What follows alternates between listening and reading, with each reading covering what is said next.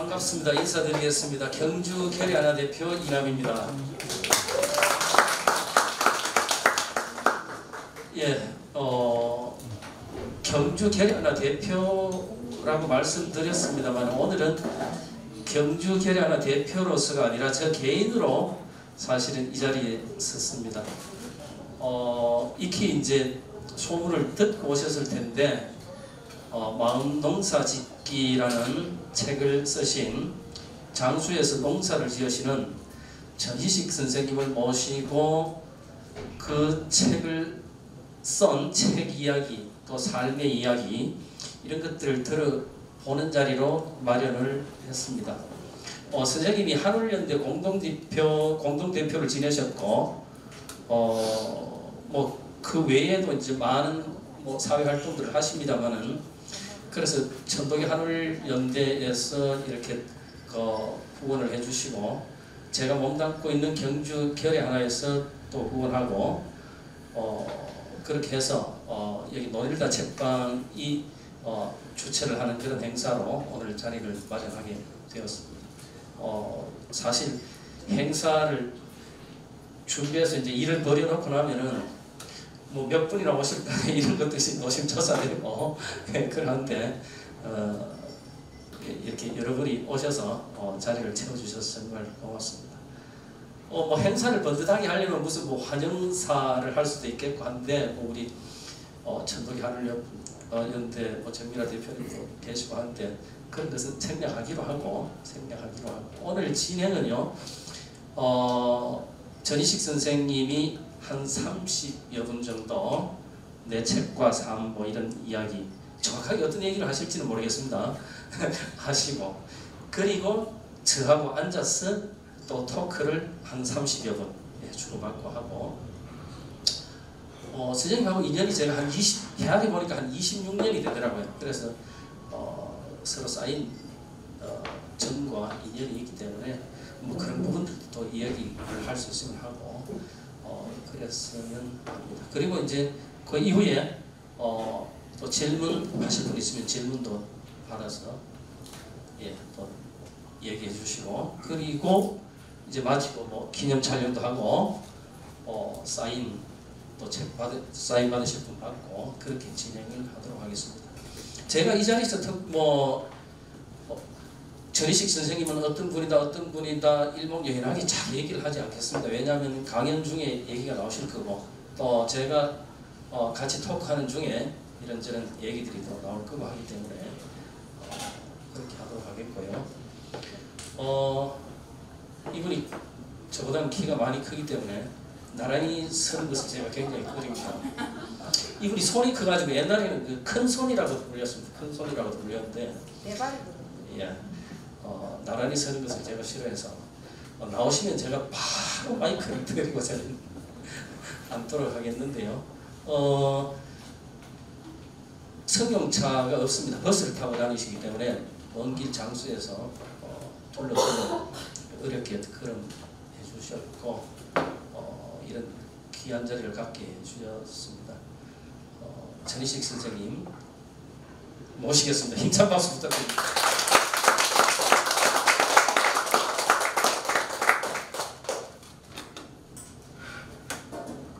빨리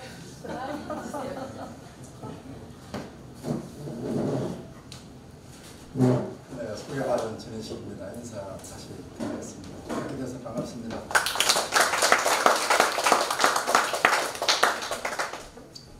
그, 키, 신장 얘기를 하시니까 아, 오래 전에 들었던 얘기가 하나 떠오릅니다. 잘하시는 아, 대학 교수 되시는 분이 점수가 같을 때이 등수 석차를 매길 때는 키가 적고 밥도 적게 먹는 사람한테 우선 순위를 준다고 그래요. 뭐 어, 맘모스나 공룡시대, 공룡멸종, 특히나 이제 어, 우리 현대 인류 바로 직전에 20만 년 전에 있었던 네안데르탈인도 거대 체구 때문에 먼저 이렇게 종이 에, 그 멸종된 걸 떠올리면 제가 많이 불리한 것 같습니다. 아, 그럼 저 옆에 한번 섰다가 들어가겠습니다.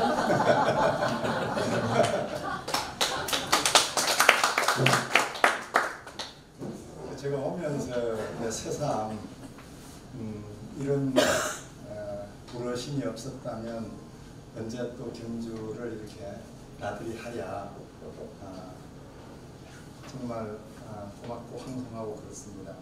이런 자리 청을 받을 때는 어, 뭐 기쁜 마음과 더불어 또 황송한 마음을 어, 아마 그게 직업병이라고 할까 아니면은 끝내 이렇게 극복되지 않는 또 익숙해 익숙해지지 않는 그런 정상인 것 같아요.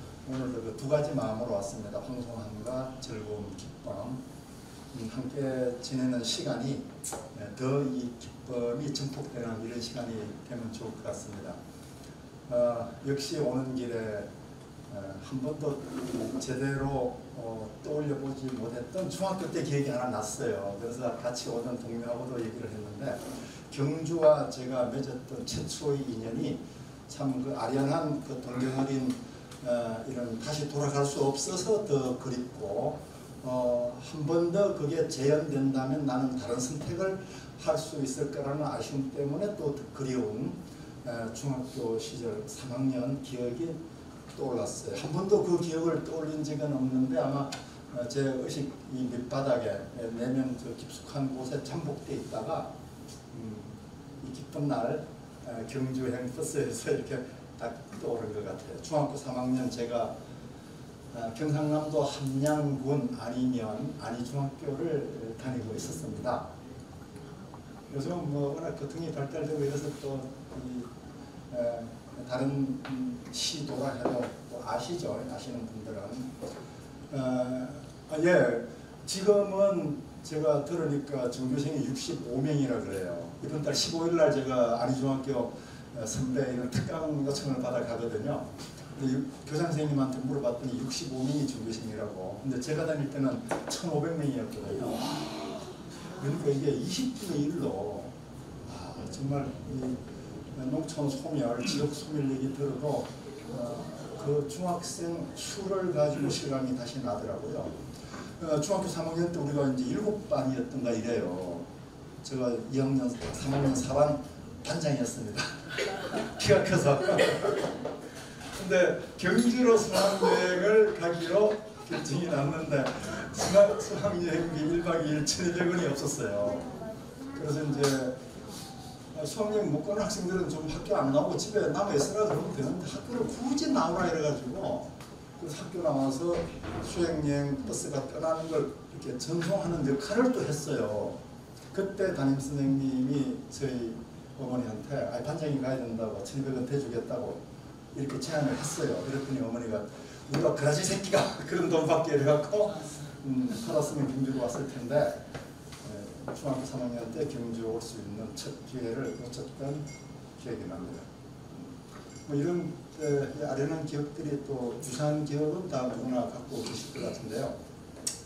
아, 그 중학교 1학년 때 14살, 15살, 16, 16살 그 소년이 아, 뭐, 이, 어, 어느 날 작가로 불리게 됐습니다.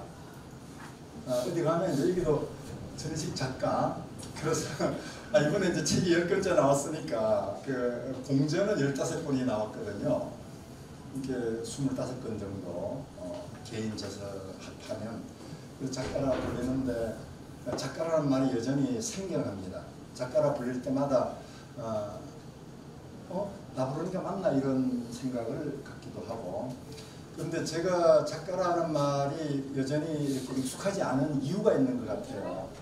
어, 그거는 어, 우선 제가 쓰는 글은 이른바 창작이라고 물론 모든 어, 말과 생각과 글 이거는 내 속에서 어, 이 소위 숙성 과정을 거쳐서 나오는 에, 나의 어떤 에, 에, 그 채취가 아, 서민 창작이라 해도 어, 틀린 말은 아니겠지요.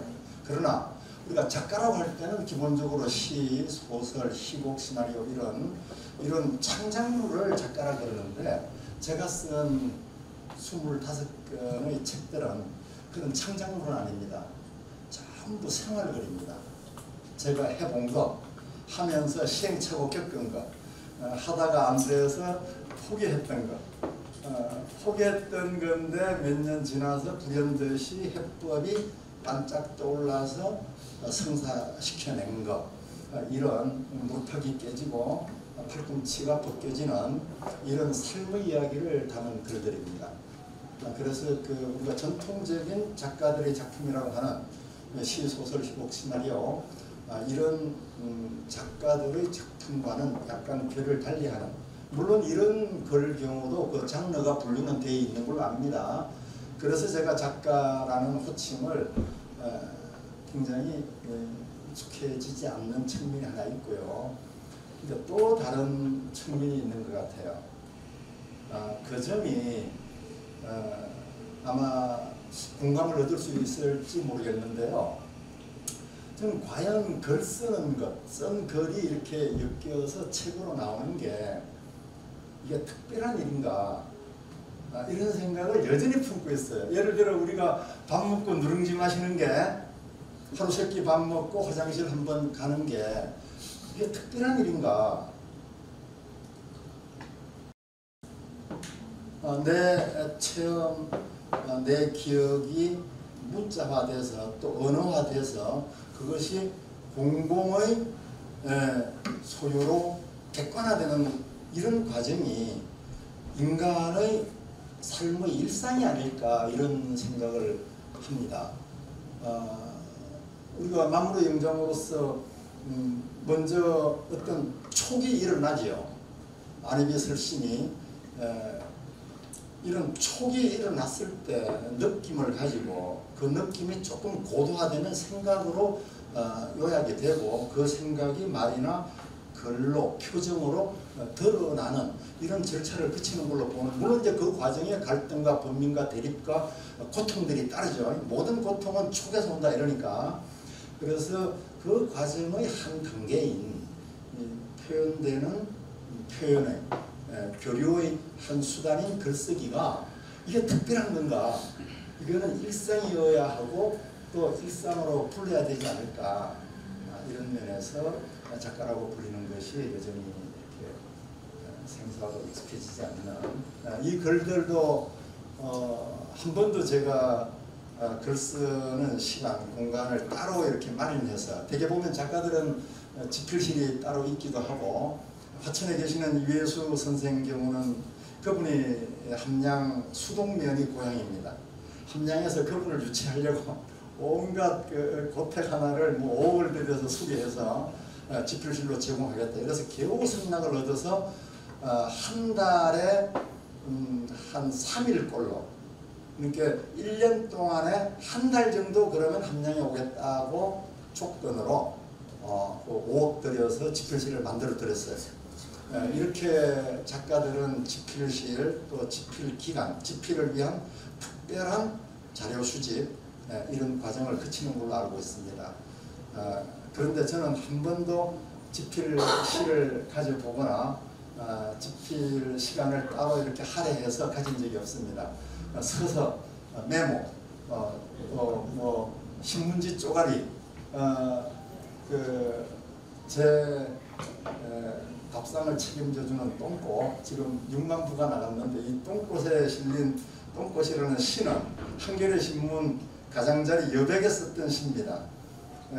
뭐 그 신문을 제가 보관할 수, 할 이유도 없고 그걸 버려서 폐지가 쌓인 폐지 더미 위에서 어떤 분이 그걸 발견해가지고 아 이거 버리면 안 된다 해가지고 이제 책으로 나오게 되는 그래서 어, 이제 다시 원점으로 오면 작가라는 말이 그래서 글로 내 느낌과 마음, 생각이 드러나는 것은 밥 먹고 화장실을 가고 하는 것과 똑같은 순환의 한 주기에 불과하다고 여기기 때문에 한 번도 별도의 공간과 시간에서 글 쓴 적이 없기 때문에 작가라는 호칭이 익숙해지지 않는 이유이지 않을까 이런 합니다.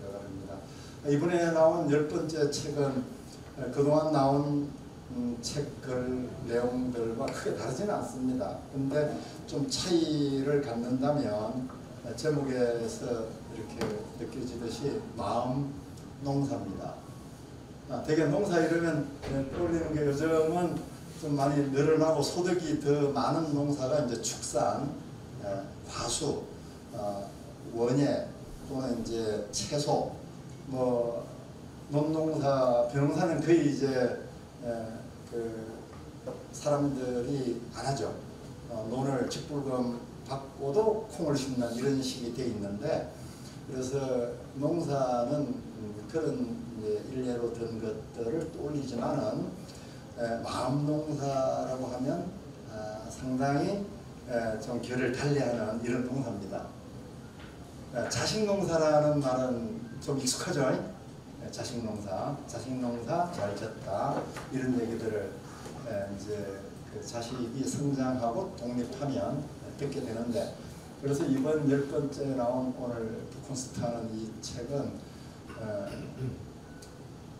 무슨 농사를 하든 밭농사를 하든 논농사를 하든 또는 자식 농사를 하든 더 확장되면 외교 농사를 하든 통일 농사를 하든 에, 심고 가꾸고 그 열매를 보관하고 상하지 않도록 얼지 않도록 생명력이 사라지지 않도록 잘 관리하는 이 모든 과정을 농사라고 할 때 어떤 경우에도 농사라는 말을 붙일 수 있다고 봅니다. 외교 농사, 네, 통일 농사, 음, 건강 농사. 네, 그래서 그 중에 마음 농사를 중심으로 하는 글들입니다. 내 마음 밭을 어떻게 잘 가꿀 것인가. 어, 되게 우리가 이제 농사꾼을 상급 농사꾼, 중급 농사꾼, 하급 농사꾼 세 단계로 나눈다 그럽니다. 어, 퀴즈를 한번 낼까요? 퀴즈 맞히시면 제가 한 제가 선물 드리겠습니다. 어, 하급 농사꾼이 작물을 잘 갖고 가지고 어, 예, 이 소출이 나는 그 어떤 농부보다도 단위 면적당 아, 한마디기 200평에 이 수확량이 많은 걸 상급일까요? 중급일까요? 하급일까요? 네?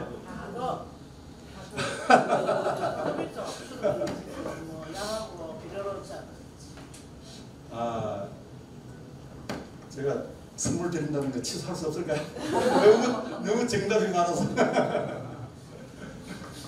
아, 네, 이 수확량에만 집중되는 음, 이런 경우를 예, 그 제일 예, 못하는 다시 말해서 칼을 들고 환자한테 들이대는 의사와 같다고 그래요. 제일 하급 의사가 그렇대죠. 칼을 들고 잘라내고 깨내버리고 막아버리고 이런 의사. 대부분 요즘 대형 병원들이 그렇게 이제 적자적인 이런 방법으로. 이제 중급 농사꾼이 작물도 살리고 옆에 있는 다른 식생들을 죽이지 않고 이웃과 스스로가 아, 이렇게 위해에 노출되지 않는 예, 최상위 농사꾼이 뭘 살리는 농사꾼일까요? 작물을 살리는 거 학업이면은 주변 관계가 조롭고 두루 상생되는 관계가 아, 중급, 상급은 모든 생물들을 다 살리고 그 중급입니다. 아니 상급이죠. 어느 날에 모든 생물 다 살리고 죽을 게 없는데 상급 네, 그럼 선생님 상급으로 이렇게 하겠습니다. 아, 그 제가 이제 들었던 그거는 이제 땅을 살리는, 땅 살린다는 말 속에 다 포괄되어 있죠. 땅이 산다는 얘기는 땅은 참, 참 섬세하고 미묘하고 신비롭죠. 이 땅 속에 한 숟가락 흙 속에 온 마리의 미생물이 산다니까. 네, 이런 에, 상중하 농사꾼 얘기가 있듯이 에, 제 마음 농사 이야기라는 거는 마음밭, 마음 땅 에, 살리는 마음 땅을 기름지게 에, 하는 어, 이런 주제로 쓰여진 글들을 에, 모아놓은 책입니다. 그래서 아마 이제 우리 에, 저랑 이렇게 진행을 하시게 되는 이남희 이제 대표께서 어떤 지금 되게 보면은 이제 그 인터뷰하거나 이러면 미- 미리 그 이제 대답록이 나오거든요. 제가 지지난주에 KBS 한 시간 이제 대담을 했었는데 그쪽 구성 작가가 다 보여주더라고요. 그 선행 학습이 가능한데 어떤 힌트도 안 줬어요. 그래서 제가 무슨 질문들이 나올지 저도 기다려집니다. 그래서 이남미 대표와 책 얘기 또 오늘에 이르기까지 또제 삶얘 기도 복진하게 나눠보고자 합니다. 아, 15일 안희중학교 제 까마득한 후배들하고 나눌 에, 그 강의 제목을 제가 그제 정했어요. 어, 저는 중딩 때 어땠길래 지금 농부가 됐을까? 아, 이게 제목입니다. 그렇게 우리 후배들 앞에서 강의를 하기로 이 제목 정해서 이제 보내놨는데요. 그래서 오늘 음, 뭐 10권의 책을 낸 작 가로 또는 25년째 농사를 짓고 있는 농부로 또 하늘연대 천도교 아, 지금은 이제 천도교에 이렇게 뭐 적을 두고 있습니다만 어릴 때는 교회 열심히 다녀서 주일학교 제가 반주도 한번 피한 어, 한번 반주도 했던 적이 있고요. 또 고등학교 때는 에, 주일학교 간사 활동 그 다음에는 이제 에, 천주교 제가 영세를 받았습니다. 아우스티노 그 다음에 34살 때 제가 출가를 해서 어, 잠시 송강사에서 또 성녀 생활을 했었는데 그래서 뭐 에, 경북토행, 에, 천당행 티켓을 다 확보했고 지금 이제 천도교 적을 두고 있습니다. 그래서 또 그런 얘기 에, 우리가 에, 영, 혼, 백 이렇게 나누죠. 음, 정신, 마음, 몸 또는 천지인 네, 이런 얘기도 또 한번 에, 말씀이 나오면 주고받는 아마 이제 오늘 오신 분들이 에, 제 얘기 또는 나누는 얘기 중에 새로운 얘기 뭐또 어, 그 뭐랄까 어, 이렇게 어, 무릎을 치게 하는 이런 얘기가 있지는 않을 거라고 봅니다. 어, 다 아시는 얘기들일 테고 들었던 얘기일 테고 그러나 그것이 제 체험을 통해서 제 삶을 통해서 아, 이렇게 숙성돼 나오는 말에 불과할 거라고 생각이 됩니다. 그래서 어, 그 점을 고려하시고 아, 예, 얘기 나누는 자리가 되면 좋을 것 같습니다. 네, 제 얘기는 이렇게 마무리하겠습니다. 감사합니다.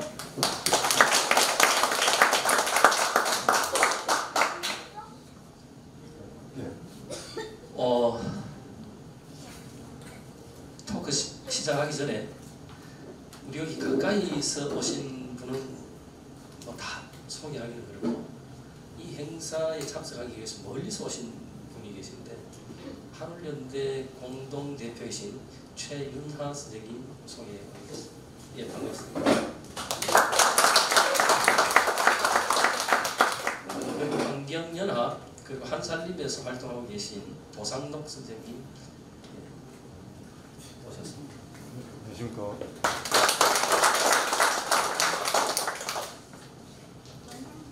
이문환 선생님 옆에 계신 분은 텃밭책 선생님이십니다. 꽉 보세요. 어 그러면 제가 이제 옆에 앉아서 네. 어 치달한 질문을 묻겠습니다. 아니 이거를. 어 사실 뭐 사적으로는 26년 2년이기 때문에 형님이라고 부르는데 예의상 여기서는 존칭을 선생님으로 좀 제가 좀 어색하더라도 쓰겠으나 쓰다가 부지불식간에 형이라는 말이 튀어나오더라도 이해를 해주시기 바랍니다. 어, 저희들 만난 지 26년 이 행사를 하려고 이제 대학에 보니까 26년이 되었습니다. 어,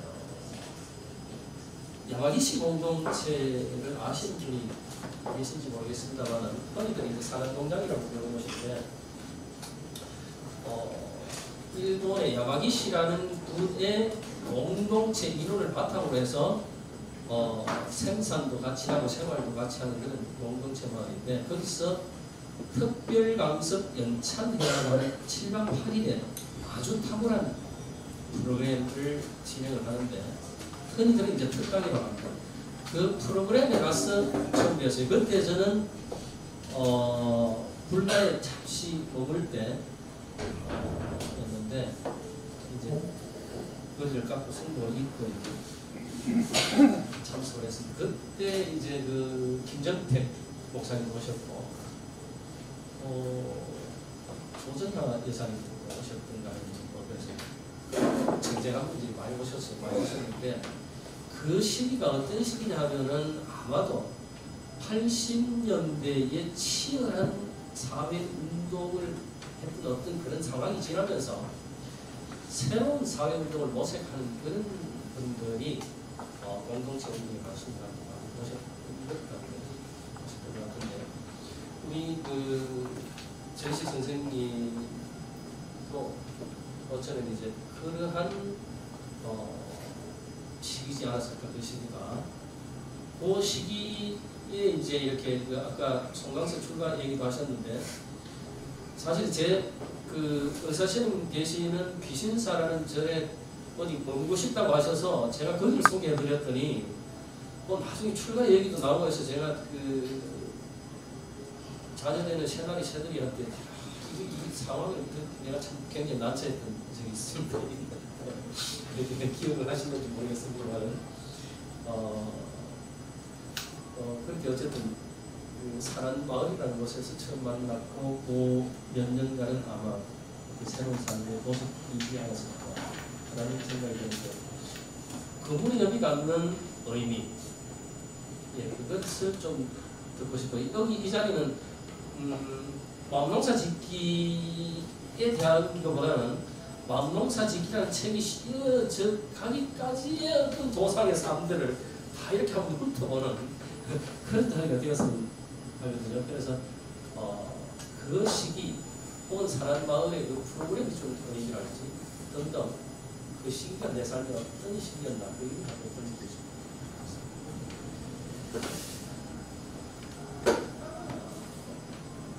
제가 도시를 떠난 이후에 한 번도 어, 공개적으로 말해보지 못했던 질문을 받았습니다.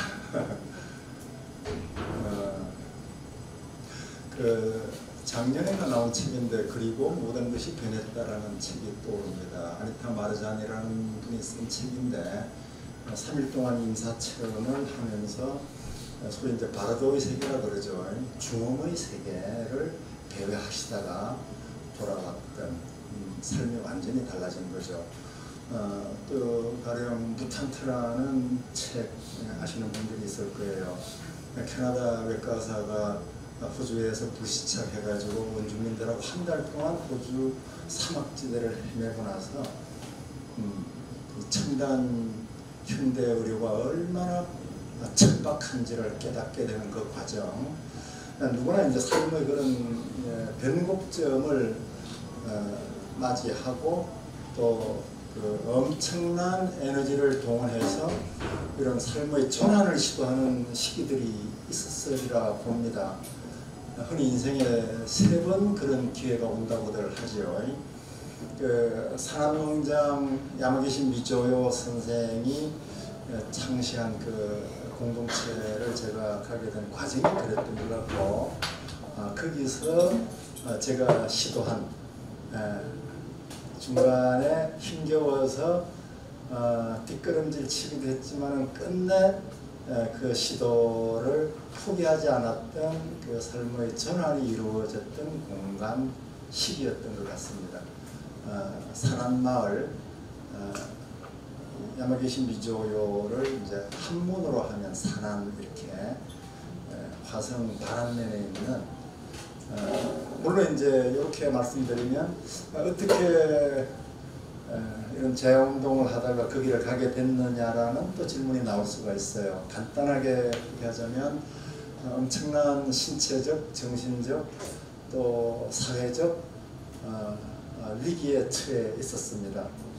어, 전국을 어, 강타한 큰 시국 사건에 연루가 돼가지고 음, 뭐 거의 에, 목숨까지 이렇게 위태로운 어, 이런 과정에서 몸이 완전히 망가졌고 몸이 망가지니까 어, 되게 몸과 마음은 이렇게 연동돼 있다 그러잖아요.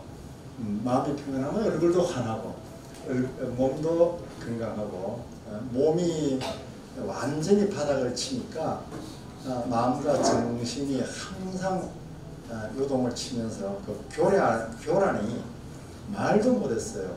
예, 지옥과 천당을.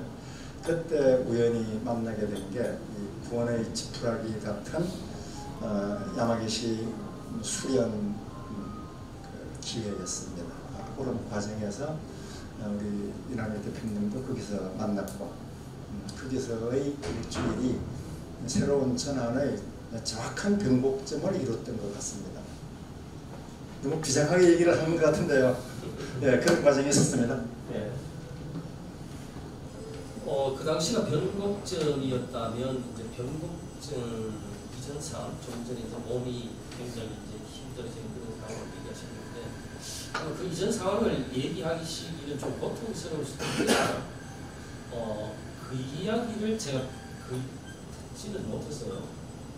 어, 어, 사람 마을에서 만나고 그 이후에 그 원산모임가에서 그 진보 정당을 만들기 위한 어떤 모임이 이렇게 전부 있을 때 그때 제가 같이 가서 그때 노래자랑을 해가 제가 쟁쟁한 사람들 물리치고 제가 2등을 했어요 그때 승복을 입고 왔었죠. 예, 선물 입고 예, 그걸 했었는데 그 이전의 삶 어, 인천 시절입니까? 인천 인천 시절이 될 텐데 어, 저 여사선이 하시는 그 심성 수련 프로그램 동사스에서 그 어, 고문을 당하는 그 고통이 상기되면서 굉장히 고통스러워하는 시간도 있을 텐데 어, 제가 듣기로는 굉장히 그 선동 연설을 잘하는 선동가였다 이제 이런 소문도 듣고 있는데 어, 좀 마음이 힘드실지는 모르겠습니다만 그 치열했던 시절의 이야기를 좀 짚어려 주실 수 있겠습니까?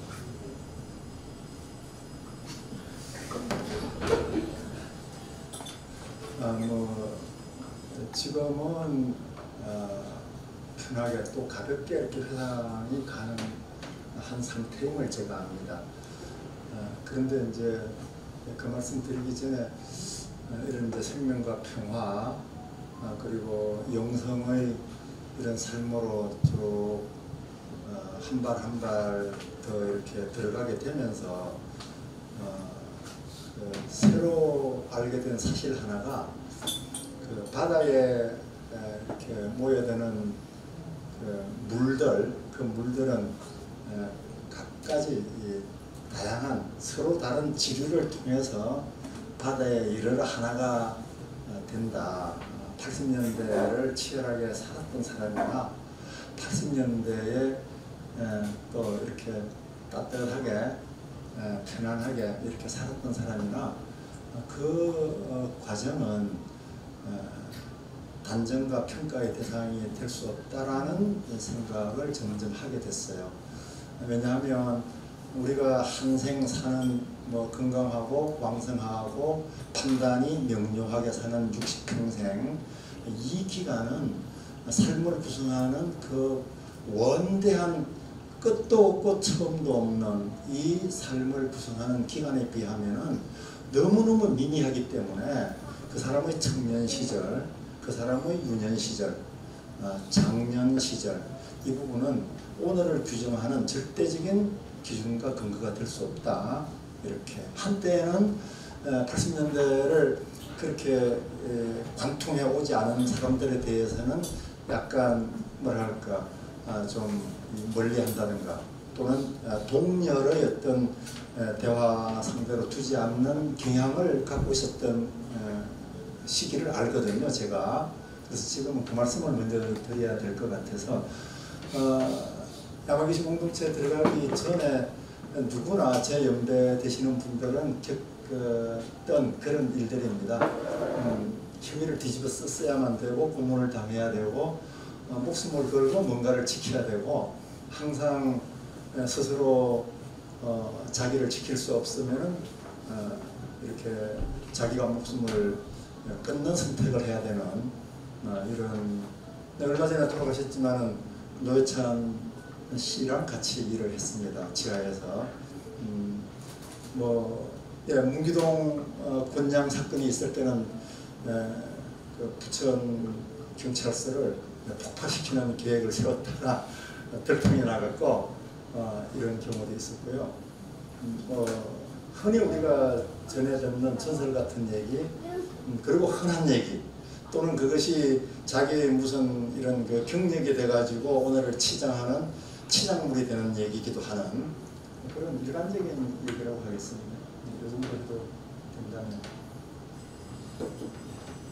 구체적인 얘기 사실 듣고 싶은데 그 얘기 나중에 개인적으로 들어야 할것 같습니다. 어, 그러한 삶을 거치고 조금 전에 이제 별곡적이라고 얘기하신 사람 마을 특강이라는 것을 좀더 기간을 거쳐서 어, 완주 소양면 예, 이제 어, 정착하셔서 농사를 지금은 뭐 장수에 분은 농사를 시작하셨는데 세상에 많은 일들이 있는데 어, 농사 일을 시작하게 된 계기, 동기.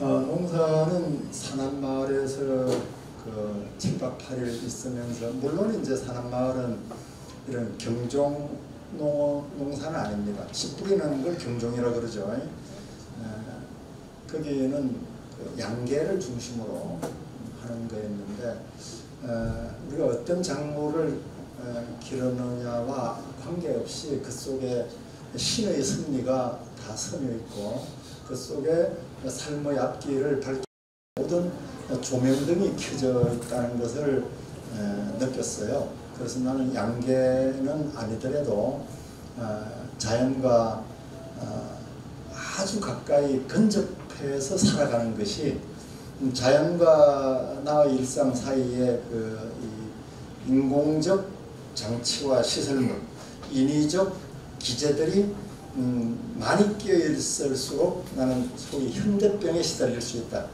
현대 소위 성인병이라 하는 또는 생활 습관병이라고 하는 이런 질환에 시달- 시달릴 수 있다. 인간 본연의 그 순수한 어, 그 어떤 이 어, 존재의 근원에서 우리가 하늘로부터 받은 이런 천부의 자질과 재능과 본성을 에, 가리고 왜곡하고 변질시키는 것이 인공적 편리 장치들 그런 기계들 어, 이걸 통해서 효율과 능률을 더 높이고자 하는 인간의 욕심.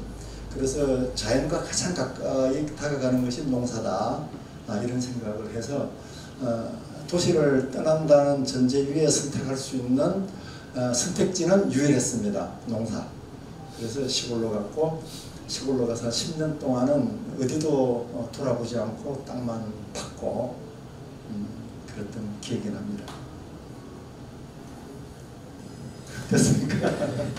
그리고 이제 장수로 사태를 옮기셔서 어, 칠의 노모를 모시는 이제 삶이 시작되고 그때 그 경험을 책으로 써냈던 꽃이 이제 어, 가장 많이 좀 알려진 책일 것 같은데 어, 아마 그때의 생활로 해서 그 이전에 전이식 이후에 어, 전이식이라는 존재가 좀 이렇게 더 대중 속에 그 이전에 동지들 사이에 알려진 존재라고는 대중들 사이에 어, 알려진 존재가 되었다고 하시는데 어, 그 당시 삶을 좀 회고를 해주시면 좋겠네요. 어머님 보고 싶죠? 아니요. 에, 안 보고 싶어 에, 보고 싶어 하지 않아도 꿈속에 자주 나타나시니까 예. 아, 그런데 지금 이, 지금까지 이 얘기 흐름이 좀 지루하지 않을까 하는 약간 걱정이 있습니다. 특히 젊은 분들이 이렇게 계시는데 대개 보면 어른들이 에, 입을 열기 시작하면 언제 말이 끝나나 굉장히 예, 힘든 시간들을 갖게 되잖아요. 그죠?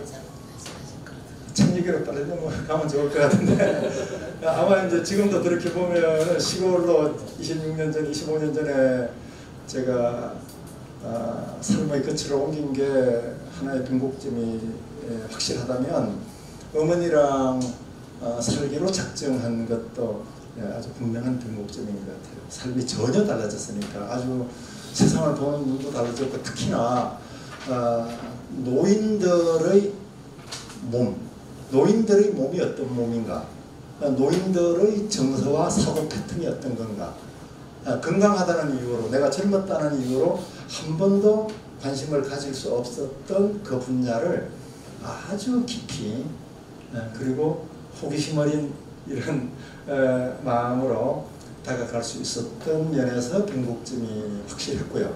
또 확실한 변곡점이라고 제가 말씀드릴 수 있는 거는 어머니 모시고 나서 제가 그래요. 이 통장에 마이너스 통장 한 번도 마이너스가 된 적이 없어요. 경제적으로 아주 부유해졌습니다. 굉장히 역설적인 일인데요. 어머니 모시기 전에는 뭐 농사 짓는 뻔하죠. 어, 이게 수확철 아무리 기다려서 통장 액수가 불어나나 해도 예, 이게 불어나지가 않고 그래서 마이너스 통장을 면하는 날이 없었는데 어머니 모신 이후에 예, 마이너스 통장 된 적이 지금까지 한 번도 없습니다. 그 면에서도 삶의 변곡점이 확실한 것 같고요.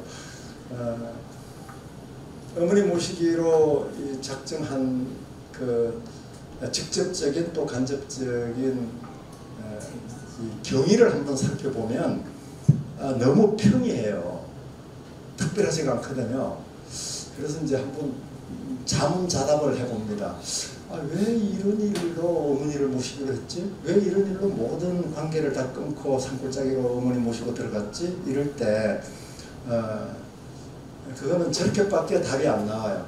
아, 사람마다 고유의 음, 어, 인연 인연이다.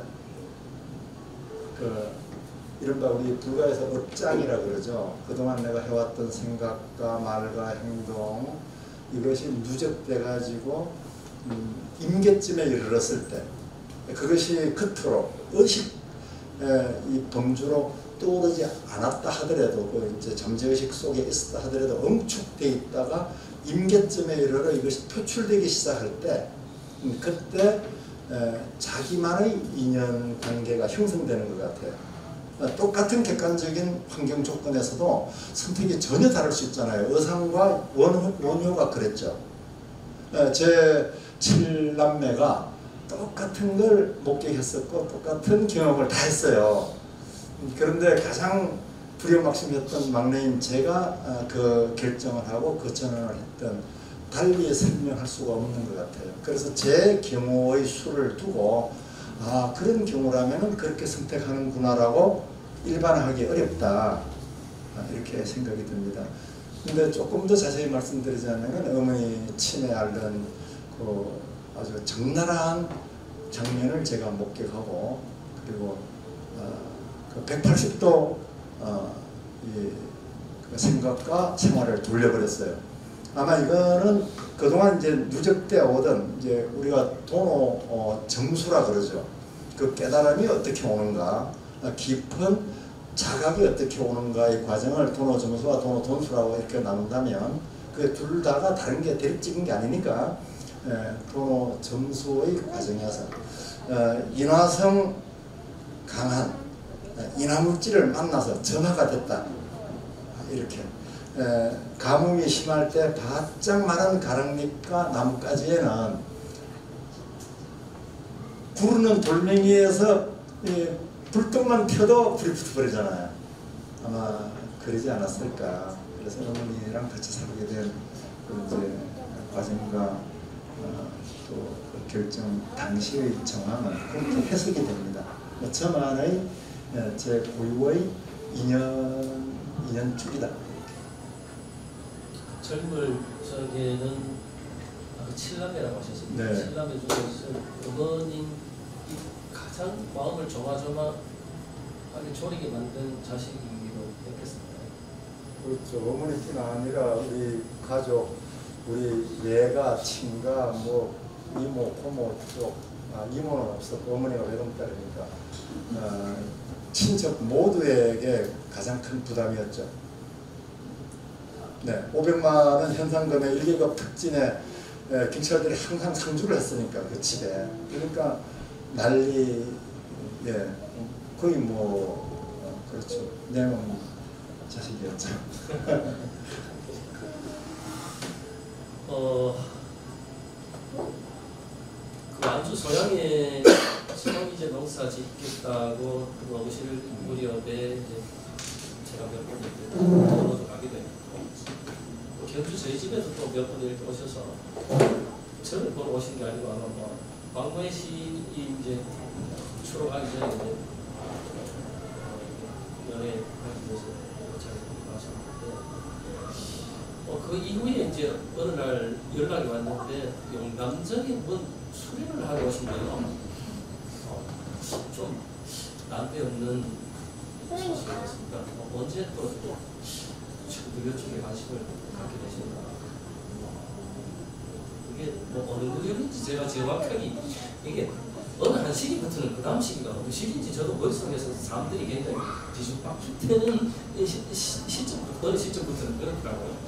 그래서 어 천도교와의 인연 아니면 동학과의 인연? 뭐 이런 것을 좀 듣고 싶은데 어 그 인연도 인연이지만은 왜 동학인가? 많은 종교가 있는데.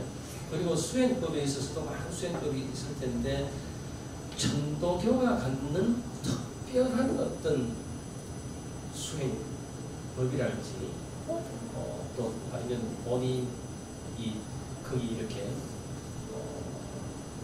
발을 닿게 한 특별한 매력이랄지 이런 게 무엇인지 네, 전체적으로 좀 말씀을 드렸습니다. 이 부분을 이 부분을 사실은 어, 영남전 오신다, 뭐 어디 오신다 하면서 경주에 이렇게 몇 차례 와서 만나도 만나도 그 기연에 대해서는 제가 들어본 바가 없었습니다.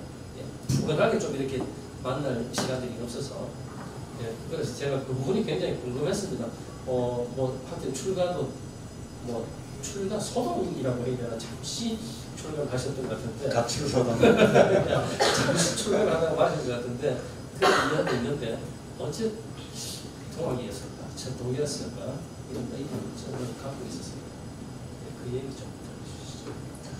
그 사회자 말씀이 예, 그 굉장히 뭐랄까 중요한 대목을 잘 이렇게 짚어주시는 것 같아요. 제가 여기 오는 과정이 집에서 전자터미널, 전자터미널에서 예, 그 정터미널, 대구, 경주 어, 그 터미널을 이렇게 짓는 것처럼 이 천도교를 예, 만나는 것도 굉장히 중요한 네, 그제 삶의 이정표였던 것 같아요.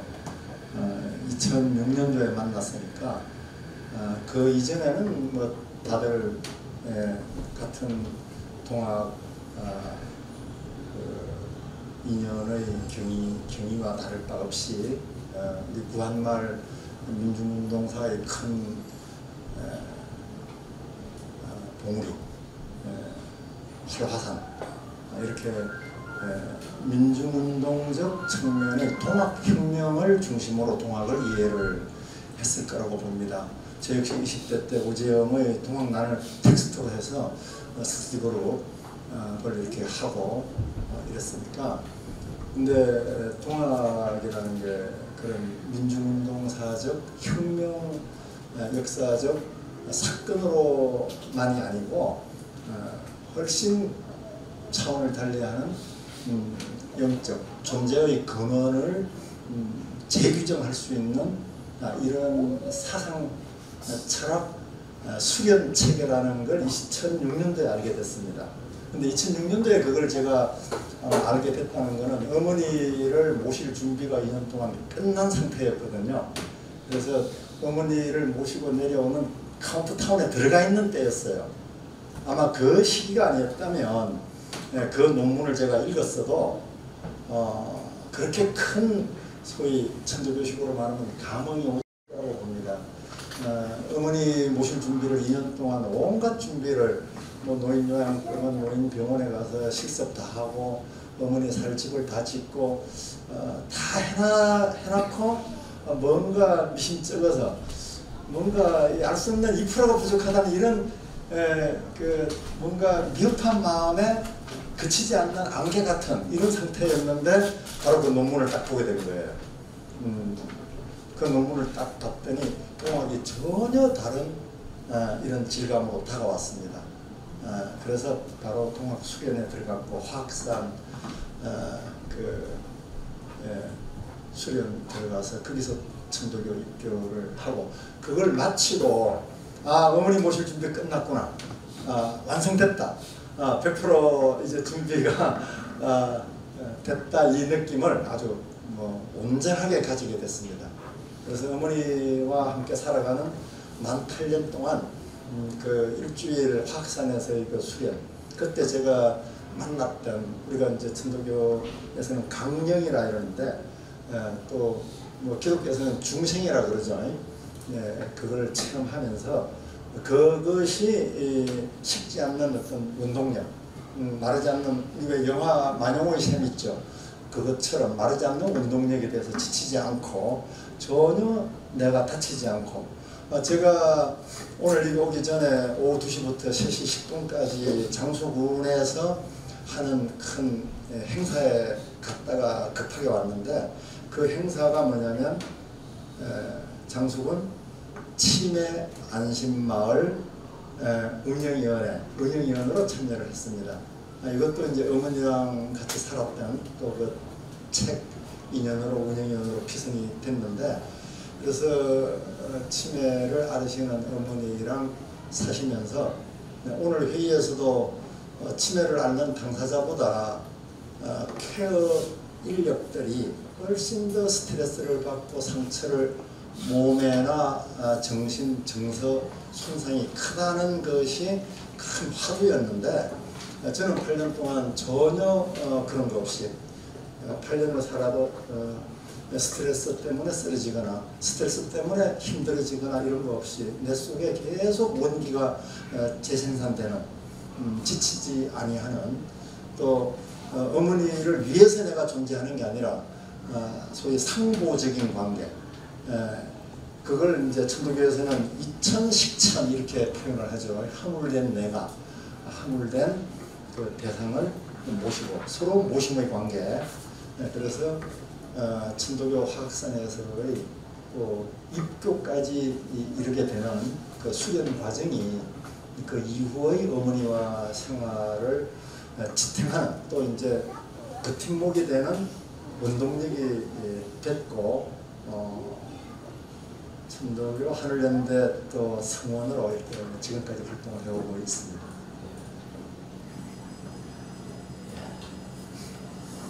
어, 고향이 아니 네, 제가 그 아리를 두번 가본 적이 있어요. 두번 가본 적이 있어요. 어, 대화 스님이 아리 우리 같은 나이였는데 대화 스님이 장수에 계신 대화 스님이라고 유명한 비구니 스님 계세요. 제가 옆에서 그 재밌는 에피소드를 하나 얘기해요. 제가 아리에 가게 된 사연. 어, 대화라는 비구니 스님 계신 절에 이렇게 제가 종종 갔었어요. 가, 뭐 이렇게 뭐 가서 이제 심부름 가려고 해서 어, 심부름이 아니어도 간 일이 있었어요. 거기에 머리를 깎을 까말까 예쁜 아가씨 하나 와 있었는데 그래서 제 발길이 이렇게 몇 번 더 이렇게 가가지고 갔더니 대화 스님이 이제 그 저한테 심부름을 보내요 속가에 어, 아리에 그 어, 노원님 계신데 그 음식을 좀 준비했는데 좀 가져다 주고 좀 오시면 좋겠다. 마침 차가 있으니. 그래서 저한테 부탁을 하면서 이제 옆에 있는 아가씨한테 야그 혼자 갔다 오시기 좀 그렇지 않냐 같이 같이 좀 갔다 와라 이렇게 이제 오. 예, 그래가지고 보시죠 그래가지고 두어 번 정도 그렇게 단위를 가본 적이 있는데 단위라는 것이 어, 면 소재지로서는 굉장히 큰것 같고 네. 그러나 뭐 이렇게 맞습니다. 현대적으로 이렇게 번화하지는 않고 현대적으로 번화하지는 않고 옛날 마을들이 보니까 굉장히 큰 마을이었어요. 네. 이런 얘기 뭐, 어, 지금까지도 제가 좀 이렇게 쭉 얘기를 했는데 어, 우리가 어릴 때그첫 체험들 뭐 이런 것들이 이렇게 더 이후에 데 영향을 미치기도 하고 그러는데 어, 아리에서의 어릴 때 저희시는 어떤 저희식이었을까? 예, 그, 그, 그런 것도 궁금하네요. 아니 책 얘기는 안 하고 뭐 질문에 나온 것 같은데 재미없죠? 이거 통과하는 게 좋지 않을까요? 아리야. 아, 중학교 때 다 뻔하죠. 아, 예.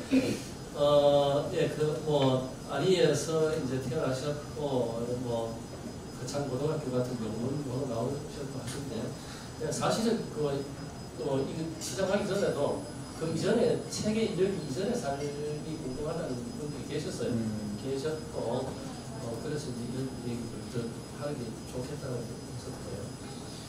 어, 책의 이야기는 오히려 저는 머릿속에 안 갖고 나왔어요. 오히려 이제 그 부분은 어, 작가분께서 어, 서두에 강의를 이렇게 해주실 거라고 생각해서 안 갖고 나왔는데 어, 책 이야기보다는 어, 우리가 이제 어리들 마음 공부를 한다 하는 분들은 대체적으로 항공부 쪽은 이게 치중해서 사회운동 쪽을 도외시하고 같이 어깨 여긴다는 거지. 그건 또 힘든 삶을 분들이 있단 말이에요. 그렇듯이 또 사회운동 하는 분들은 뭐 항공부에는 별 가치를 두지 않고 뭐, 그, 그러기도 하는데 그러기도 하는데 어, 이 양자의 삶을 함께 이렇게 아울러서 정신철하고 공부도 하면서 자기 변혁도 꾀하면서 사회 변혁도 꾀하는 이런 삶이 마땅하겠다라고 저는 생각은 합니다만 어, 주변을 둘러보면 태극했던 그러니까 어, 여기는 안경을 하나 등록해서 어, 사회운동에 관심이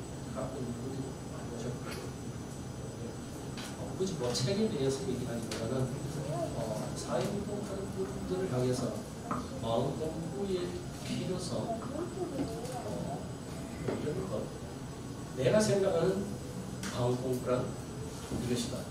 내가 생각하는 마음 공부란 이것이고 그래서 이런 것을 여러분들한테 전하고 싶다 이런 말씀을 좀 드렸습니다 선생님 생각하는 마음 공부를 핵심으로 했습니다 그 제가 이, 이 자리에 큰 이런 선생님들이 많이 와 계신 걸로 아는데 어, 대단히 외람, 외람된 답변을 요구하는 것 같습니다. 음, 그게 이제 다른 말로 그걸 마음 살림을 어떻게 하고 있느냐, 우리가 부엌 살림을 어떻게 하느냐 이것처럼 마음 살림을 당신은 어떻게 꾸려가고 있느냐 아, 이렇게 이제 에, 그, 이 질문의 내용을 풀 수 있을 것 같아요. 그래서 사회자님 말씀을 어, 작가 전희식 당신은 마음 살림을 어떻게 하느냐 음, 이런 질문으로 제가 어, 예, 에, 듣는 걸로 하겠습니다. 에, 그 우리가 뭐 아주 많이 여러 번 그래서 식상할 정도로 익숙해 있는 마음이라는 말에 대해서 그, 그 색조와 어떤 무게감 이게 다 다를 거라고 생각을 해요. 그 마음이라는 것이 어, 엄청난 중압감으로 엄청난 질감을 갖고 자기를 짓누를 때도 있을 것 같고 그 마음의 소위 그 어떤 엄습하는 어, 자기를 제압 자기가 제압당하는 뭐 이런 경우도 있을 수 있고 어, 저는 어, 모든 음, 삶의 근본이 어, 마음 공부다, 마음 살림이다 이렇게 생각을 합니다. 그 이렇게 될 때 흔히 우리가 이제 관념론에 빠진다라고 할 수 있어요. 유심론, 유물론 이렇게 나- 이분법적으로 나눌 때 물론 우리는 이제 물질 존재로서 이 3차원 공간의 어, 이그 경험치에 의존해 살아가는 음, 이 에, 생명체로서 어, 물질의 작용으로부터 자유롭지는 않다고 봅니다. 그걸 벗어나야 존재할 수가 없고 물질 세계, 소위 에고의 세계를 떠나서는 자기가 없어요. 우리가 에고를 넘어가자 이러는데 에고를 넘어가는 순간은 그건 우리가 아니라고 저는 봅니다. 굉장히 소중해 에고가. 에, 우리가 이제 일곱 개 차크라라든가 이제 쿤달리니 이걸 통해서도 나의 근본 바탕, 내가 딛고 있는 발바닥의 그 견고한 땅바닥을 확인하는 거거든요. 내 발바닥에 견고한 땅 위에 서지 않으면 상체가 아무리 두뇌가 뛰어나도 함몰되는 거라고 봅니다. 그래서 이제 물질 세계의 존귀함, 소중함 네, 이걸 전혀 가볍게 보진 않습니다. 그러나 물질 세계보다 훨씬 더 존재의 근본을 규정하는 바는 정신 또는 영적 어, 바탕이다. 그것이 이제 마음의 영역이다 이렇게 생각을 하는데, 근데 이제 살다 보면 마음의 영역은 음, 소위 촉의 세계보다 안입이 설심, 예, 이 냄새 맡고 시각적으로 확인되는 이것보다 강렬하지가 않아요. 이 촉의 세계는 너무너무 강렬합니다. 어, 지하철에서 지하철 흔들릴 때 에, 우람한 사내가 어, 나한테 이렇게 몸이 쓸리기만 해도 어, 소름이 끼친다든가 아니면은 어, 괜히 누가 나를 향해서 어, 부당하게 에, 비난할 때 에, 신경이 온통 곤두선다든가 우리가 미국의 폭격기가 아프가니스탄 민간인을 폭격해서 병원에 있는 어린 아동까지 폭사당하는 걸 보고 에, 잠을 설치는 사람 없습니다.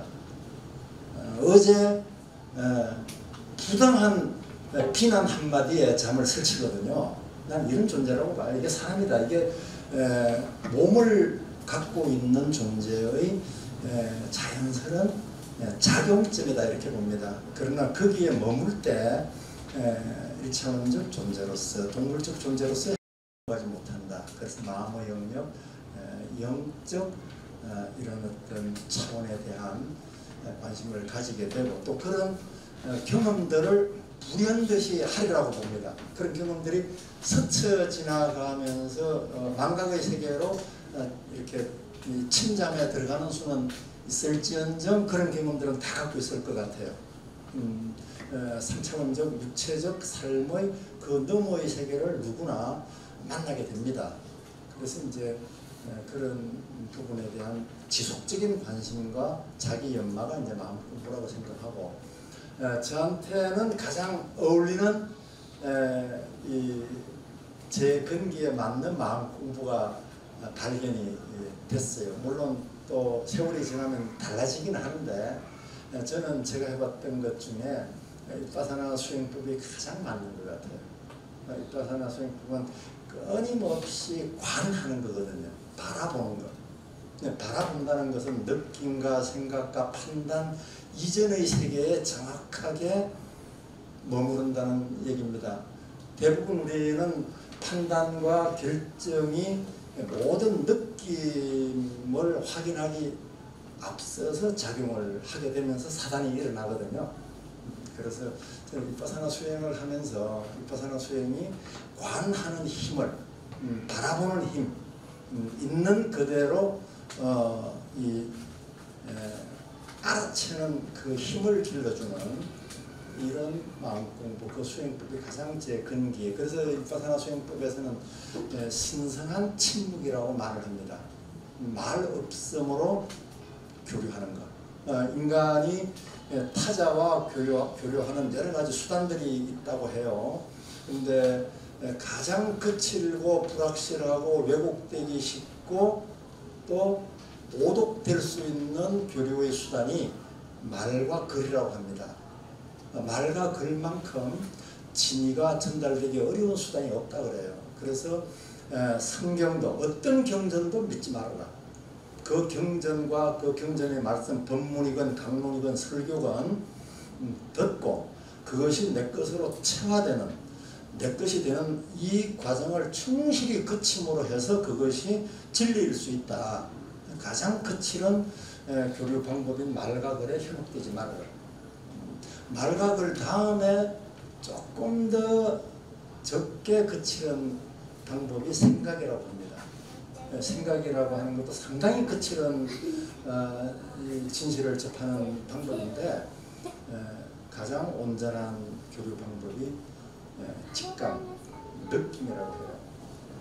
그래서 저는 그런 면에서 제 마음 공부였던 여러 수행법 중에 에, 느낌을 강화하는 느낌을 강화하게 하는 바라봄의 힘을 길러주는 이빠사나 수행을 가장 제 근기에 맞았던 걸 물론 그거 하기 전에는 부산에 있는 그 수불 스님이 하시는 예, 예, 갔을 때 그때 아 가나선이야말로 나한테 가장 맞는다.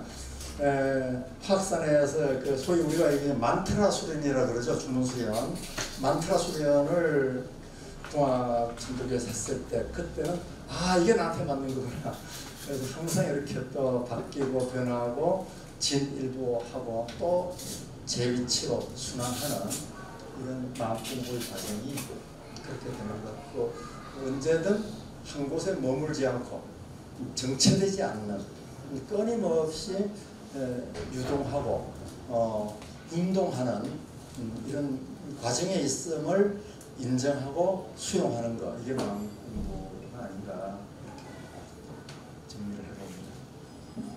오늘 제일 하고 싶었던 얘기죠. 아니요 아니요 저는 사실은 책 얘기할 줄 알고 책이 여러 꼭지로 이렇게 1, 2, 3으로 되어 있는데 예. 그 생각을 하고 왔었어요. 예, 예. 어, 어, 책보다는 사실은 제가 이제 결국은 제 개인적으로 선생님의 어, 삶의 역정 이런 것을 듣고 싶은 자리가 되다 보니까 사실은 그런 위주의 이야기들로 어, 진행이 여기 책을 읽고 오신 분이 계신가요? 마음동 서신기?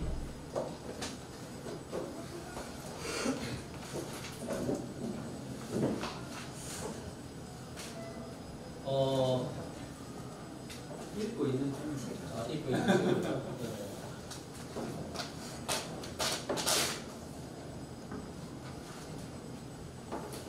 어, 그러면은 시간이 이제 이렇게 또 진행되고 있기 때문에 어, 여러분들 중에서 서정님에게 듣고자 하는 음, 다른 얘기보다 이제 그 마음 공부와 관련해서 마음 공부와 관련해서 그쪽으로 이제 집중해서 어, 선생님께 여쭙고 싶은 어, 이것이 있으면 질문을 하고 답을 하는 그런 시간을 가져보도록 하겠습니다. 그런 툭툭하는 노래 한 사람도 있고 우리 그때 상 받았던 그 노래 실력으로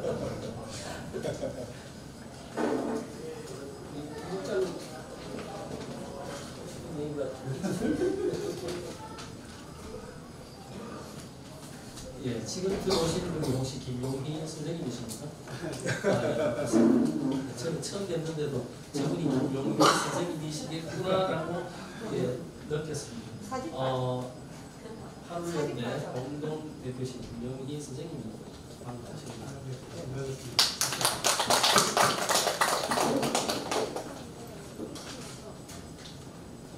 어, 우리 하루연대 분들 중에서 특별히 또뭐 질문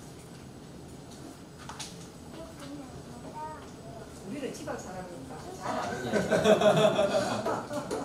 그러면은 어, 객관적으로 어, 아 예.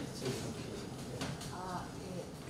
아, 저는 그 희식평화연대라는 밴드에서 마음 농사 지키라는 이 글을 제가 이제 보니까 일종의 그 마음 농사 지키라는 책에 대해서 저거는 제가 글을 봤는데 사실 이제 그 작가님은 저는 거기서 다시 처음 배웠거든요.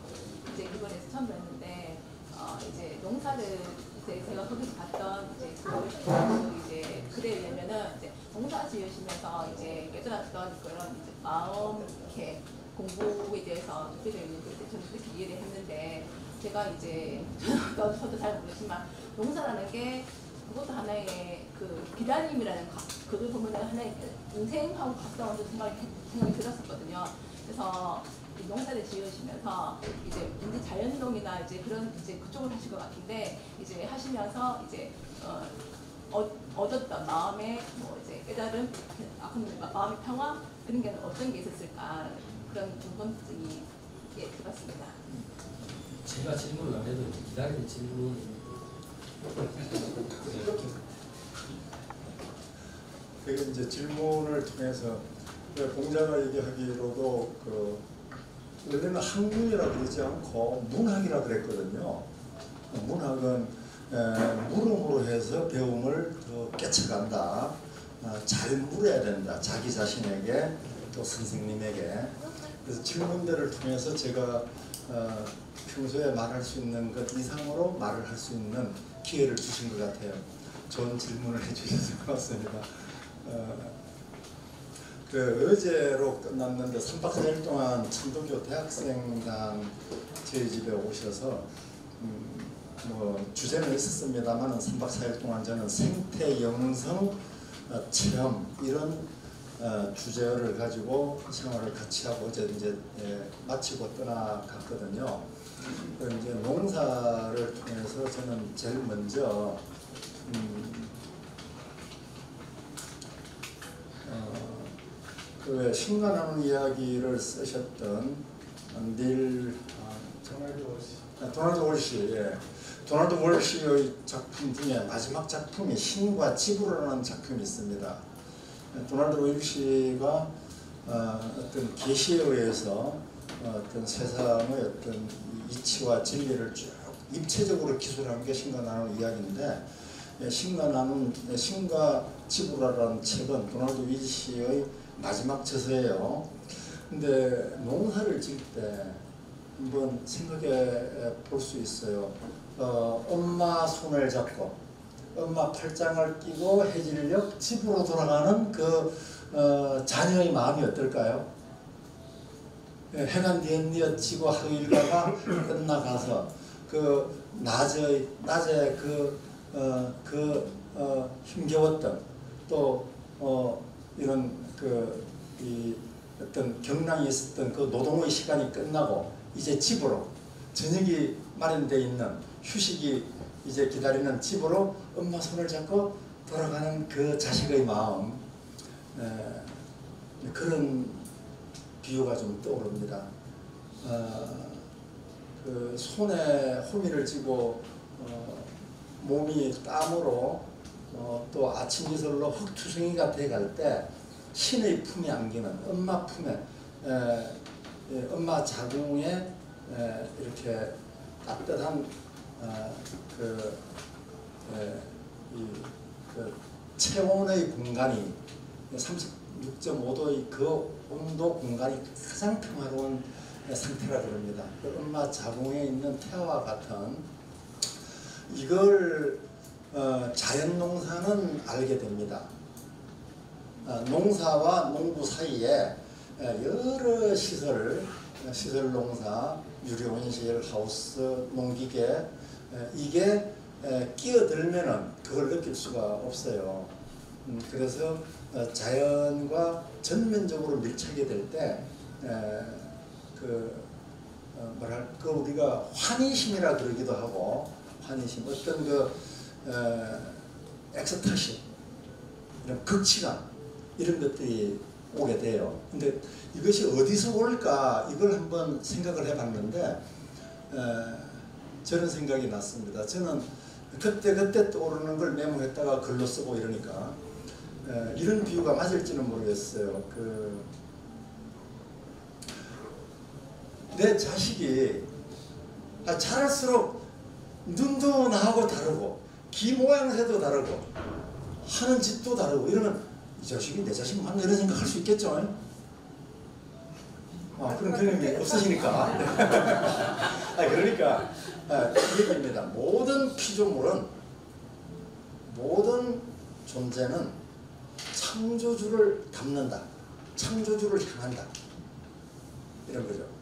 하나님이 세상을 창조하셨으니까 천도교에서 어, 하늘이라 그래요. 음, 내유실령 외우기와 각지불이. 그러니까 모두가 하늘이다. 사사천 물물천 하는 일마다 하늘이요. 내가 만나는 모든 사물이 하늘이다. 왜? 하나님이 창조했으니까 기독교적으로 말하면 아 엄마 아빠가 똑같은데 서로 6.25 전쟁 통해 헤어져 살았다 하더라도 30년 40년 만에 헤어져 살던 형제가 그 부부치를 만났을 때 보니까 눈도 같이 생겼어요. 입도 이렇게 같이 생겼어요. 그러니까 같은 자식이죠. 뭐 기독교적으로 보더라도 모든 생명체 무생물까지도 하나님의 자식이에요. 하나님이 낳아주셨으니까. 그리고 천도교적으로 말하면 네, 다 하늘이니까. 우리가 같은 같은 어, 집안에 같은 씨족에 같은 성씨고 같은 피부치다. 이러면 똑같이 생긴 거죠. 그래서 이제 자연은 가장 온전한 형태의 하늘이다 이렇게 봅니다. 어, 우리 천도교 어, 경전에 이런 말이 있어요. 어, 천이 인하고 천이 인하고 인이 식하니 식이란 맛이지라. 이 말은 어, 제가 어릴 때 제가 어릴 때 미션 스쿨 다녀갖고 이 성경 퀴즈 대회 이제 이 장원을 하고 이랬었는데 똑같아요 성현들의 가르침은 요만큼도 안 틀려요. 천이 인한다. 하늘은 쥐뿔도 아니다. 하늘은 사람의 의지에서 비로소 하늘이 드러난다. 현현된다. 이런 말입니다. 사람 없으면은 하느님은 자기를 자기 존재를 드러낼 수가 없다는 거예요. 그 다음에 인이 식하니 사람은 먹어야 산다. 음식이 없으면 사람은 아무리 날고 긴다 하더라도 수임이 석자라 하더라도 아니다. 그래서 천이 인하니 예, 이런 거라고 봐요. 그 인이식 밥은 사실은 자연이라고 할 수 있거든요. 그러니까 하늘님은 하늘은 자연이다. 자연은 신이다. 이렇게 저는 봅니다. 자연은 신이라고 보면 돼요. 제가 몇 달 전에 광주에 있는 천주교 신령님들 1박 2일로 이제 강의를 갔었는데요. 그 강의하면서 신부님도 와 계시고 이랬어요. 그래서 제가 얘기를 하면서 어, 자연이 곧 신이다 이랬어요. 이랬더니 신부님이 박수를 치더라고요. 어, 공식적으로는 불경스러운 말인데 자기는 전적으로 동의한다. 자연이 하느님이다. 하나님과 직접 만나고 하루 24시간 전자파 없는 데서 예, 이 최첨단 건축 소재 화학 제품 아닌 데서 집에서 이렇게 자고 잔식품 먹고 어, 홈이 들고 헝붙이면서 사는데 24시간 신과 같이 하늘님과 같이 있는데 예, 희열에 넘치지 않을 수가 없죠. 아마 이렇게 얘기하면 여기까지는 뭐 그럴 듯 하면서도 실감은 잘 안 날 거예요. 그래서 저는 앞으로 이번에 이제 대학생단 이 3박 4일을 생태 영성이라고 하는 차원으로 쭉 함께 지냈는데 앞으로 이런 기회를 우리 집에서 우리 농장에서 많이 가지려고 합니다. 그 자연의 신성스러움 나도 자연의 일부로서 자연의 사뿐히 얹혀서 살다가 흔적을 안 남기고 대개 인간만이 엄청난 쓰레기를 남겨요. 지금 미세먼지 우리가 미세먼지 최근에 어제 우리 집에 왔던 분이 하나 계신 한 분이 부부가 오셨는데 홍성에 홍동면에 오래 사시다가 왔어요. 직구하러. 그래서 아니 홍동면이면은 한국에 예, 도트네트 우리 런던에 도트네트라고 하는 공동체 있죠. 네, 그 도트네트 공동체 또는 오르빌 우리 이제 김영희 교수님 계시던 신재 계시는 그것처럼 홍동 면, 홍성을 주목을 하고 있는데 우리가 어, 남원시 산내면을 주목하죠. 어, 도법스님 계시는 실상사 산내면에 그 70%가 기능 기춘자들 모여서 거기 동아리가 한 80개가 넘는다 그래요. 그뭐 방앗간도 만들고 뭐 기름 짜는 집도 만들고 카페도 만들고 온갖 이, 또 이제 협동조합 그 건축 협동조합도 만들고 그런데 왜 홍성에서 여기를 오느냐 미세먼지 때문에 못 살겠다고 미세먼지 우리가 미세먼지 그 농도가 정기적인 에, 기상예보에 포함된 지가 오래됐죠. 그런데 미세먼지 얘기를 하면서 한 번도 그 손가락을 나를 향하진 않아요. 전부 다 정부의 정책, 한국을 얘기하죠. 그래서 저는 어, 자연은 음, 가장 온전한 형태의 신이다. 사실 나는 신성을 많이 잃었다, 인간은. 왜? 자연으로부터 너무 멀어져 왔으니까. 우리가 입고 있는 것도 자연 소재가 별로 없어요. 전부 다 화학 염색입니다, 이거는. 황염색의 소재는 지구에 존재하지 않는 물질입니다. 엄청난 고열과 압력과 섞어 짜고 비틀고 온갖 짓을 해가지고 만들어낸 게 이런 염료들이고 플라스틱이고 어, 인, 인류 이 지구상에 존재하지 않는 물질이 플루토늄이고 그래서 인간은 지금은 너무너무 많이 자연과 멀어져 있어요. 그래서 무탄트 그 책에 보면 캐나다 그 의사가 원주민들하고 호주에서 한 달을 지내면서 그 원주민들이 헤어질 때 안녕 무탄트 이렇게 말을 했어요. 무탄트가 뭐냐면 돌연변이 이런 뜻이에요. 그러니까 인간이 아닌 거예요. 그 원주민이 볼 때 인간이 아닌 거죠. 아무리 이해하려고 해도 인간이 아닌 거예요. 그래서 무탄트 돌연변이 멸종이다. 이렇게 인사를 나눴다 그래요. 그래서 사실은 우리는 돌연변이라고 보면 됩니다. 현대 인류들은 적어도 한 에, 산업혁명이 시작된 200년 전과 비교할 때 완전한 돌연변이다. 이렇게 볼 수 있습니다. 그래서 이제 농사를 자연재배 농사를 하게 되면은 그런 부분에서 신성을 회복하고 자기와 자기와의 관계에서 평화로운 관계를 네, 네, 강화할 수 있다. 아, 이렇게 네, 농사의 어떤 소중함.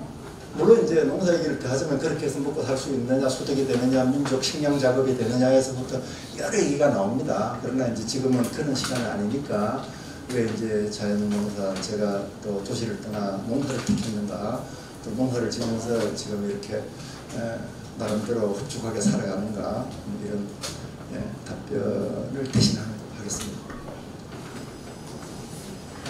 예, 어, 시간이 많이 예, 지난 것 같습니다. 어, 그렇더라도 질문 뭐 하시고 싶은 또 아니면은 방금 선생님 얘기하신 어,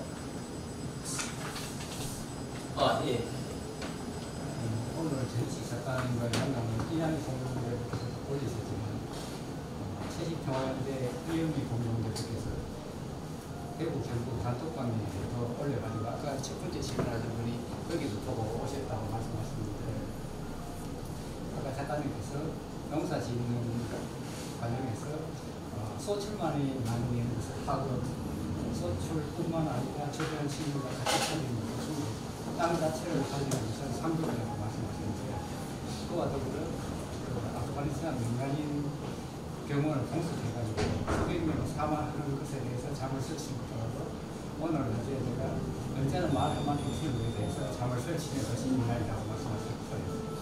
그리고 얼마 전에 그 이란 주변 상공을 정찰하던 미국 무인기가 공습 때문에 격추됐는데 이란 혁명 수비대가 공습하면서 보고를 하고 항공모함하고 통하고 미사일을 배치하고 공습 명령을 내리기 직전에 트럼프가 참모장이 죽었습니다.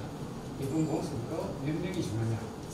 약 150명 정도 사망한다고 보고를 하니까 무인기 우리는 사람이 죽지 않았는데 150명 사망하면 한 별성에 맞지 않는다고 공격 명령 직전에 취소를 했습니다. 어, 이런 트럼프의 마음 농사 인간의 이제 그 자원 농사도 있지만 마음 농사도 있는데 트럼프의 마음 농사는 상급 중급 파도 중에 어느 정도 수준이라고.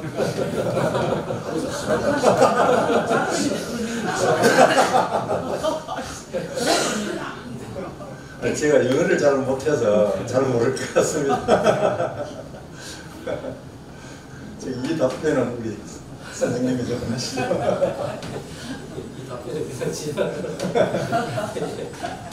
어, 그 현실을 우리가 이렇게 공유하는 걸로 이렇게 이제 얘기를 예, 그렇게 넣어가도록 했으면 좋겠고요. 어, 혹시 뭐 아까 선생님이 말씀하신 어, 인간은 하나님의 현, 현현 혹은 자연이 뭐 하나님 뭐또 도련변이 이런 얘기에 있어서 혹시 뭐 그, 그건 나의 종교적 관념으로는 그렇지 않다고 말론을 펴실 분이 있으면 펴셔도 좋겠고 아, 다른 제가 질문, 예, 다른 질문 하실 분 그렇게 선생님께서 지난주에 아까 무슨 친마을이겠습니까? 친마을로 뭐 하나 만든다고 했습니까? 아, 친의 안심 마을. 아, 친의 안심마을. 네. 거기에 대해 한번 좀 얘기를 듣고 싶습니다. 아, 네. 그 네, 선생님 질문하고도 좀 연결이 되는 답변이 가능할 것 같아요. 그 치매 안심 마을이라고 하는 거는 어, 아마 이제 제 연배 아래가 되는 젊은 분들은 모르실 텐데 치매 관리법이라는 법이 있습니다. 아, 노인복지법이라는 법이 있고 노인요양장기보험법이라는 법이 있습니다. 저기 우리 이쪽 젊은 친구들은 치매관리법 처음 들어보죠. 치매관리법 17조에 보면은 치매 안심마을이라는 조항이 있습니다. 이거는 시군 단위에서 어, 마을 하나를 선정해서 거기에 가장 조화로운 치매 관리 시스템을 마을 공동체 또 전문 의료진 그 다음에 이제 전문적인 복지 쪽을 전공하는 케어 인력 이렇게 3자가 3일체가 돼서 치매를 예방하고 치매를 앓는 분을 음, 어떤 존엄과 인권이 침해되지 않도록 돌보는 아, 이런 것을 지원하고 또 촉진하는 이런 법령에 기초해서 지금 실시되고 있는 어, 정부의 노인 정책입니다. 이 소위 이제 문재인 케어라고 하는 것이 굉장히 강화돼 가지고 어, 노령화가 되는 이 사회에서 노인들에 대한 그런 정책의 하나로 치매 안심 마을 이게 되고 있는데요. 그래서 아까 이제 선생님 질문에 대한 음, 얼핏 떠오르는 생각인데 예를 들어서 히틀러나 박정희 또 이제 트럼프의 이런 세계사적 음, 악행 어, 또한 음, 반인륜적인 음, 이런 그 가혹한 어, 통치 음, 그로 인한 엄청난 희생 어, 이런 어, 현상들을 어, 우리가 그러면 어떻게 바라보고 어떻게 대응해야 될 것인가라고 하는 과제를 안고 있다고 봅니다. 개인을 우리가 어, 마음과 몸, 개인적 경제 활동을 관리하는 것뿐만이 아니라 이제 사회적 존재로서 근데 오늘 치매 안심마을 그 1차 운영위원회 때 저한테 이제 발언 기회가 나와서 이제 저런 얘기를 했습니다. 오신 분들이 전북대학교 교수도 오시고 또 장소의료원 원장님도 오시고 또 이제 군청 면사무소에 또 그 담당 에, 공무원도 오시고 또 해당 마을 이장님, 해당 마을 노인회 회장님 이렇게 다 오셨어요. 이구동성으로 전문가 분들이 하시는 말씀이 에, 치매 원스톱 관리 센터를 만들어야 된다.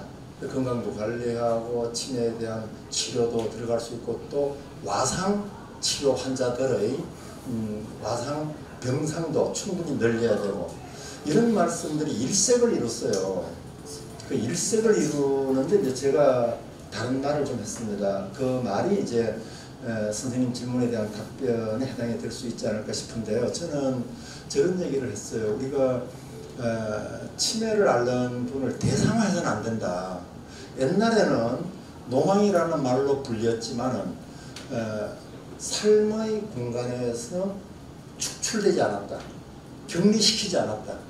별도의 공간에서 복지라는 이름으로 감금하지 않았다.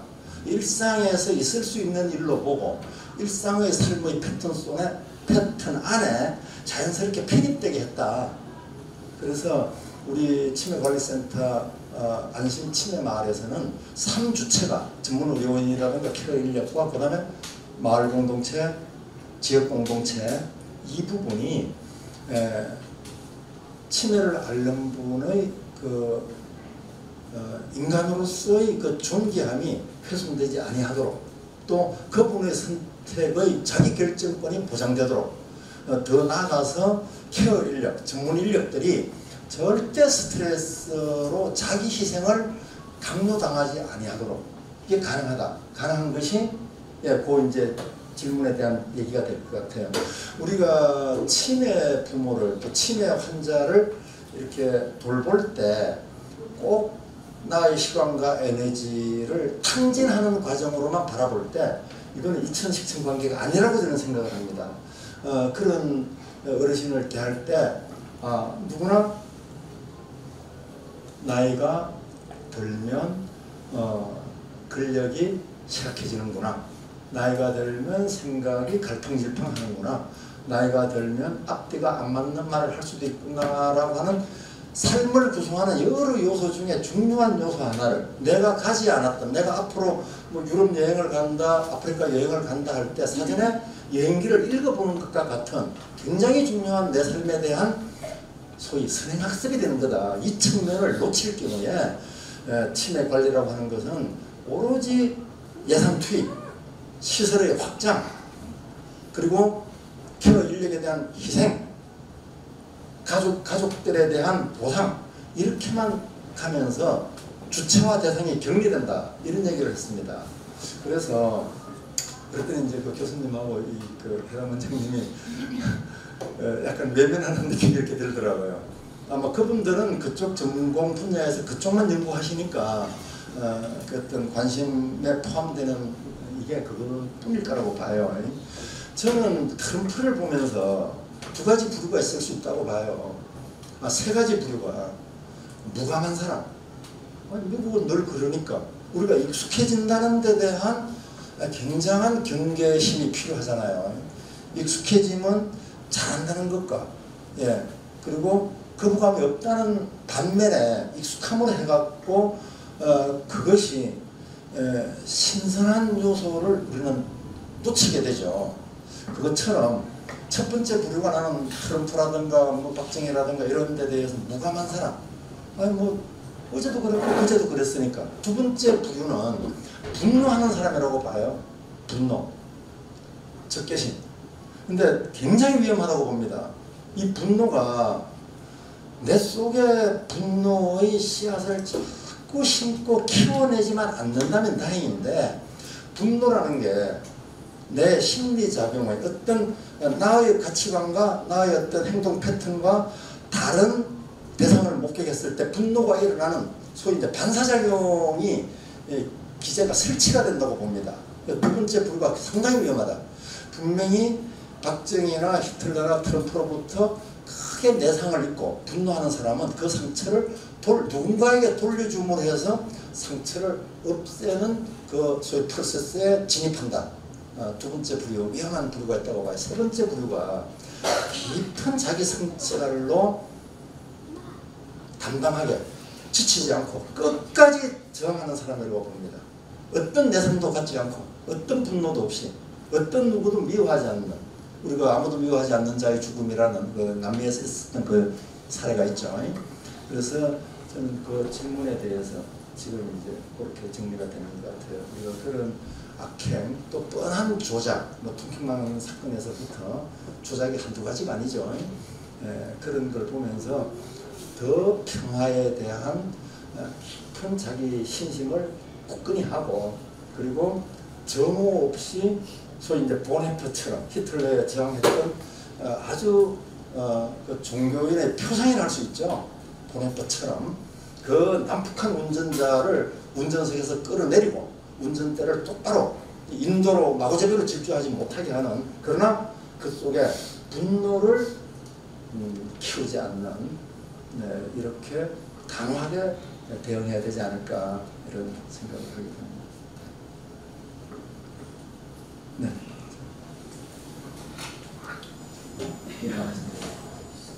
네. 지금 마음동사 짓기 제목인데요.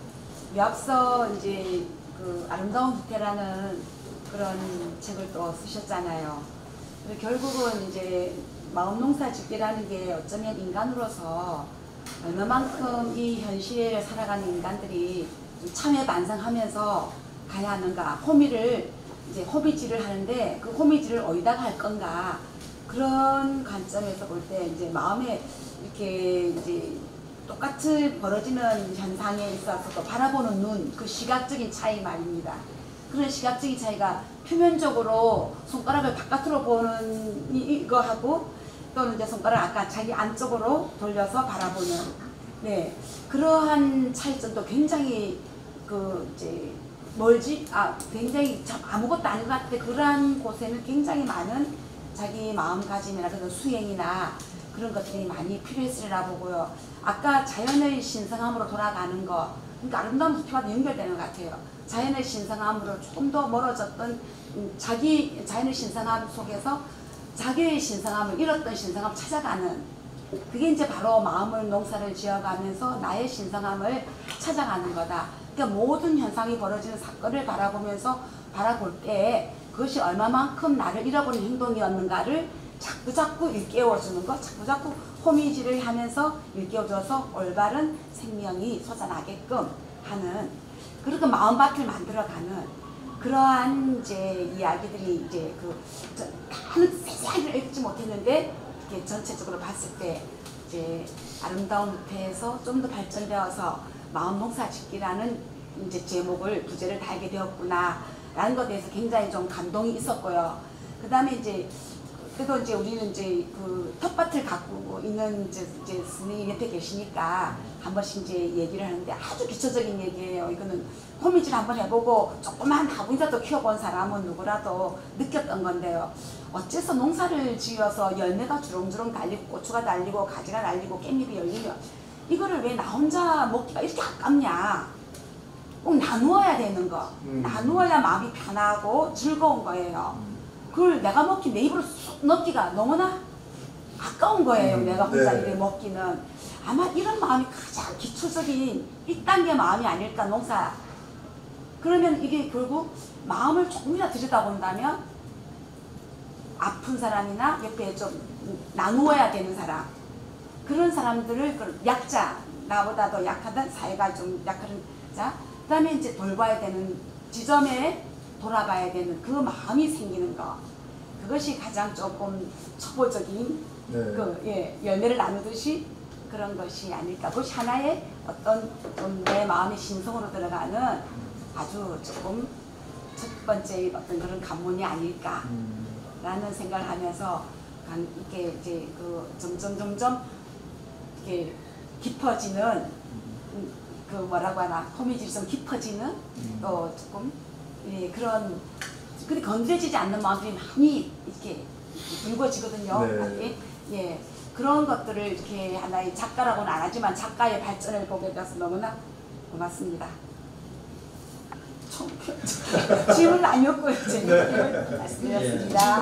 어, 아, 예, 예. 아니, 저희 이 책을 보면은 저희 같은 일반인들은 선생님이 쭉 쓰시다가 이렇게 마음이 되게 커져 계시고 용서를 하시고 또 뭐 걱정을 했는데 걱정했던 게 아니었던 것이고 뭐 이런 것들을 관, 관찰하고 바라보기에 가능한 것들일 수도 있지만 이 바쁜 일상을 살아가는 우리 입장에서는 아까 말씀하신 것처럼 분노의 씨앗이 수시로 뿌려진다고 해요. 이걸 어떻게 거두시는지 저희 같은 일반인에게 해줄 수 있는 어떤 방법이 있는지 고민을 좀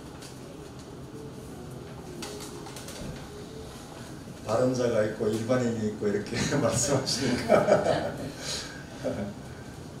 그 제가 이 앞에 앉아서 마이크를 잡고 말하는 역할을 주어진 시간에 할 뿐이라고 생각하고 있습니다. 또 어, 다른 공간, 다른 시간에 에, 또 말씀하시는 분과 또 제가 듣는 입장이 될 수도 있고 그래서 어, 역시 제가 어, 책문에 대한 얘기를 어, 이 시간에 저에게 주어진 대역에 불과하다 예, 이렇게 생각하고 말씀을 어, 그 일분명상법이라는 책이 있어요. 제가 그 책을 아주 재미있게 보고 너무 예, 아주 그 그때 그때 적용하기 좋은 팁으로 어, 늘 제가 예, 이렇게 보고 있는 책입니다. 그 우리가 흔히 이제 명상심 이럴 때 명상, 수행 어, 그 말에 대한 자기 체감이나 이해가 조금씩 편차는 있지만은 통일점, 이 일치점이 있을 거라고 봐요. 뭐 고요하다, 평화롭다, 조화롭다, 에, 소통감을 느낀다. 그리- 그리고 막힘이 없다, 음, 안정감 뭐 이런 이미지가 떠오르잖아요, 그죠? 그렇지 않가요? 그렇습니다. 그런 얘기 안 할래요. 그렇잖아요. 이제 그거는 제 경험 또 제가 이제 여러 연찬을 통해서 예, 제가 체험한 바로는 멈춤이라고 봐요. 스톱을 하면은 아 현현선님이 그런 또 책을 쓰셨더라고요. 멈춤은 비로소 보이는 것들. 그래서 우리는 한시도 쉬지 않거든요. 에, 우리가 이제 허공을 향해서 쏘아 올려진 이런 어떤 물체가 있다면 이제 중력의 힘을 어, 능가하는 힘이 가해졌을 때 이제 시죠. 그러나 어느 지점에서 떨어지기 시작하기 직전에 멈추죠. 멈추는 거예요. 이 힘이 9.8 그램 G 예, 중력의 힘이죠. 9.8 그램 G와 그 힘과 중력과 딱 이퀄이 될 때 멈추고 이제 자연학화가 시작이 되는 거죠. 예, 그 멈춤이 우리 삶 속에 그때그때 있어요.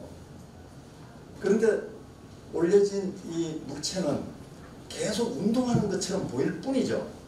멈추는 시간이 너무 짧으니까 우리는 그 멈추는 시간을 딱 부착하는 거, 음, 부착할 수 있는 거. 예, 이게 어, 일상에서의 번잡스러움, 또 대립, 갈등, 분쟁, 특히나 나와의 분쟁, 예, 내 속에서의 어, 어떤 그 해결되지 않는 대립, 음, 이런 것에서 어, 이 알아채음을 음, 발현할 수 있는 핵심은 멈춤이다. 쉬는 것이다. 아, 그래서 우리가 어, 호흡 수련을 할 때 가장 중요한 게 지식부대라는 걸 하잖아요. 덜숨, 덜숨, 날숨 중심으로 호흡 수련을 하다가 어, 지식, 호흡을 멈추는 시간을 갖는 것. 어, 5초 들이쉬고 5초 내쉬고 덜숨, 날숨에 있기. 그럴 때는 이제 고각길 수행이라 그럽니다. 고르게, 가늘게, 길게. 네, 고각길 수행법으로 어, 제가 명명한 겁니다. 이거 네이버 선생한테 물어봐도 그런 말 없어요. 제가 지역에서 명상 호흡 수행을 쭉 지도하고 있는데 고각길 수행을 하다가 지식 수행법으로 전환을 합니다. 이 단계가 되면은 에, 호흡을 멈출 때 덜숨이 있고 5초 멈추고 날숨이 될 때 엄청난 변화가 옵니다. 그래서 저는 일상에서 잠깐의 완벽한 멈춤의 시간을 가지셔라 아, 이런 말씀을 드리고 싶습니다. 그래서 그 일본 수행법이라고 하는 그 책 한번 검색하면 나올 거예요. 거기 보면은 그 찰나적 알아차림을 음, 이루어낼 수 있는 이런 팁들이 많이 있습니다. 참고가 되실 것 같아요. 예, 참고 되셨습니까? 예. 어, 가벼운 질문. 그 질문을 여러 개 해도 됩니까? 아니요. 이제 시간이 많이 지났네. 그럼 진짜 가벼운 그 쌤, 그 20대 청년한테 살기를 한 사람한테 여러 번 장하셨고 근데 나중에 돈도 100만 원 주시고 다시 돌려받거든 그 청년과 지금 어떻게 지내고 계십니까? 아, 예. 아, 그걸 보셨나요? 그 책에 나오는 건데 민호라는 청년입니다. 아, 정말 그 재미있는 다 쓰지 못한 다른 얘기들이 많이 있어요. 어, 안 보신 분들을 위해서 간단히 소개하자면은 어, 제가 인터넷에서 물건을 구입했는데 이 청년이 자기 주민 주민등록증까지 다 보여주고 이렇게 하더라고. 그래서 뭐 또 통화도 하고 샀는데 이제 사기였어요. 어, 근데 이 친구가 음, 사기를 쳐놓고 저한테 돈을 더 빌려달라 그러는 거예요. 그 이제 사연을 또 빼놓고 그래서 그때 제가 음, 제 친구들한테 몇 사람 이런데 음, 지금 얘가 이런 선택을 하고 이런 판단을 하고 이런 요구를 하는 것은 그 나름의 최선의 선택이라고 본다. 어, 그 친구가 어떻게든 돈을 더 가져야 되는 방법을 고르고 골라서 자기로서는 최선의 선택을. 그러나 그 최선의 선택이 진실과 부합되지 않는 선택이라는 걸 깨우치는 과정에서 야단과 배척과 거부를 통해서 다가가는 것보다 우리가 어떻게 이 한 젊은이가 음, 쉽지 않은 그 진실과 또 어, 남과의 관계의 그 도리를 회복할 수 있도록 할 것인가 이렇게 이제 고민들을 하면서 돈을 다시 빌려줬어요. 근데 전액을 갚았어요. 전액을 갚았는데 또 빌려달라 그랬어요. 또 빌려줬어요. 근데 막한테 계속 했어요. 그러다가 30만 원 지금 떼먹, 떼먹겠습니다.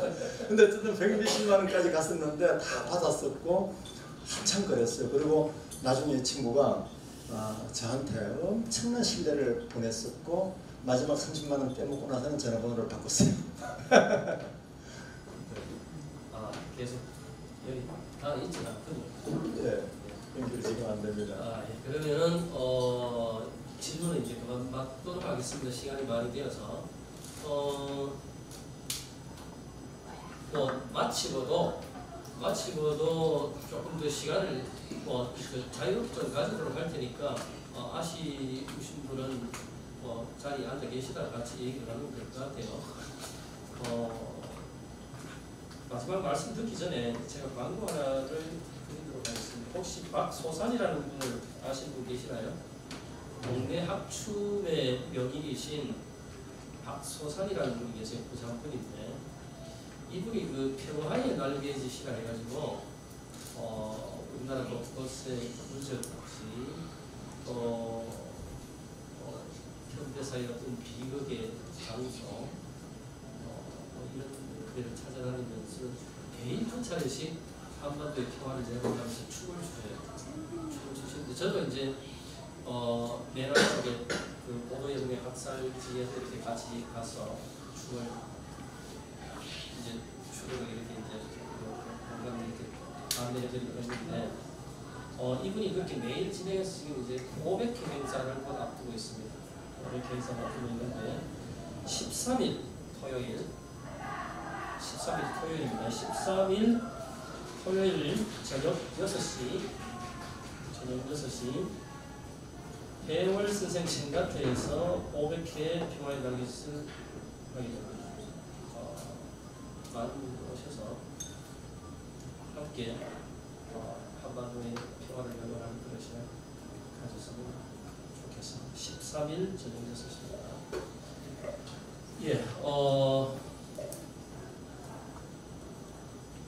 어디 가나 이렇게 노래를 시키면은 노래가 머릿속에 아는 노래가 수백 곡이어도 같은 노래를 부르고 싶어지잖아요.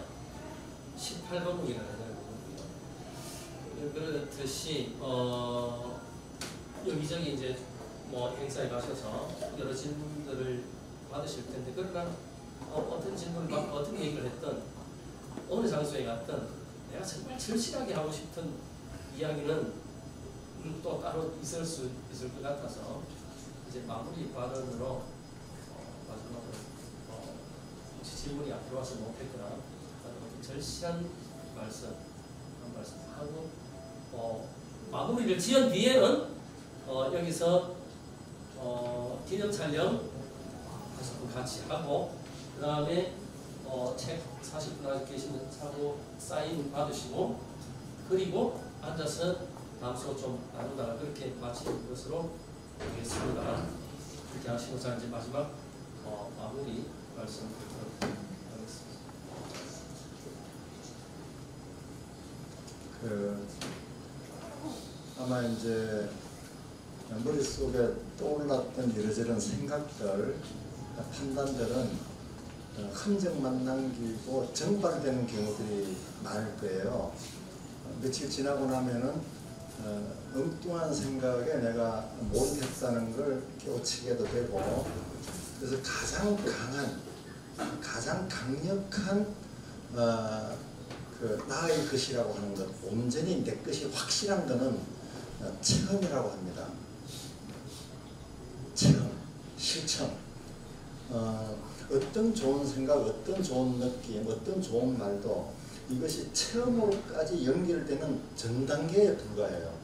그러니까 체험에 당도한 생각, 비로소 실천이 된 말, 글이 어, 온전히 내 것이 되는 이 체험이라고 하는 것은 두 가지 양면적인 측면이 있는가 하나는 체험을 통해서 업이 쌓이는 경우가 있어요. 그 체험을 통해서 트라우마가 생기는 게 있어요. 그러나 또 체험을 통해서 업이 소멸되고 체험을 통해서 진보되는 그런 업이 있어요. 그런 행위가 있어요.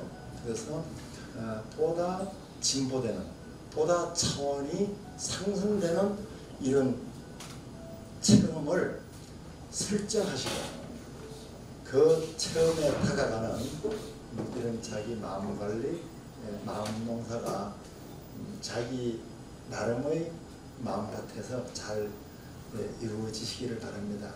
아, 그래서 어, 자기 마음밭이 평탄하고 기름지고 어, 어떤 작물이든 어, 씨앗을 잘 발화시키고 성장시키는 이런 마음밭을 가짐으로 해서 어, 트럼프라는 씨앗이 떨어져도 꽃을 피워낼 수 있고 그러나 꽃을 피워냄으로 해서 트럼프라는 씨앗은 예, 소멸되는 네, 이런 어, 삶으로 네, 관계의 평화, 에, 내면의 평화가 이루어지시기를 에, 빌겠습니다. 네, 오랜 시간 함께 해 주셔서 감사합니다.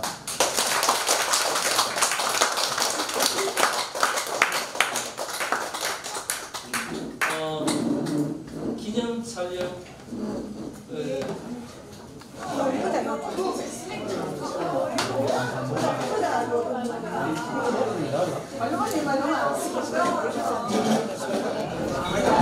자, 촬영요. 촬영. 앞에 의자에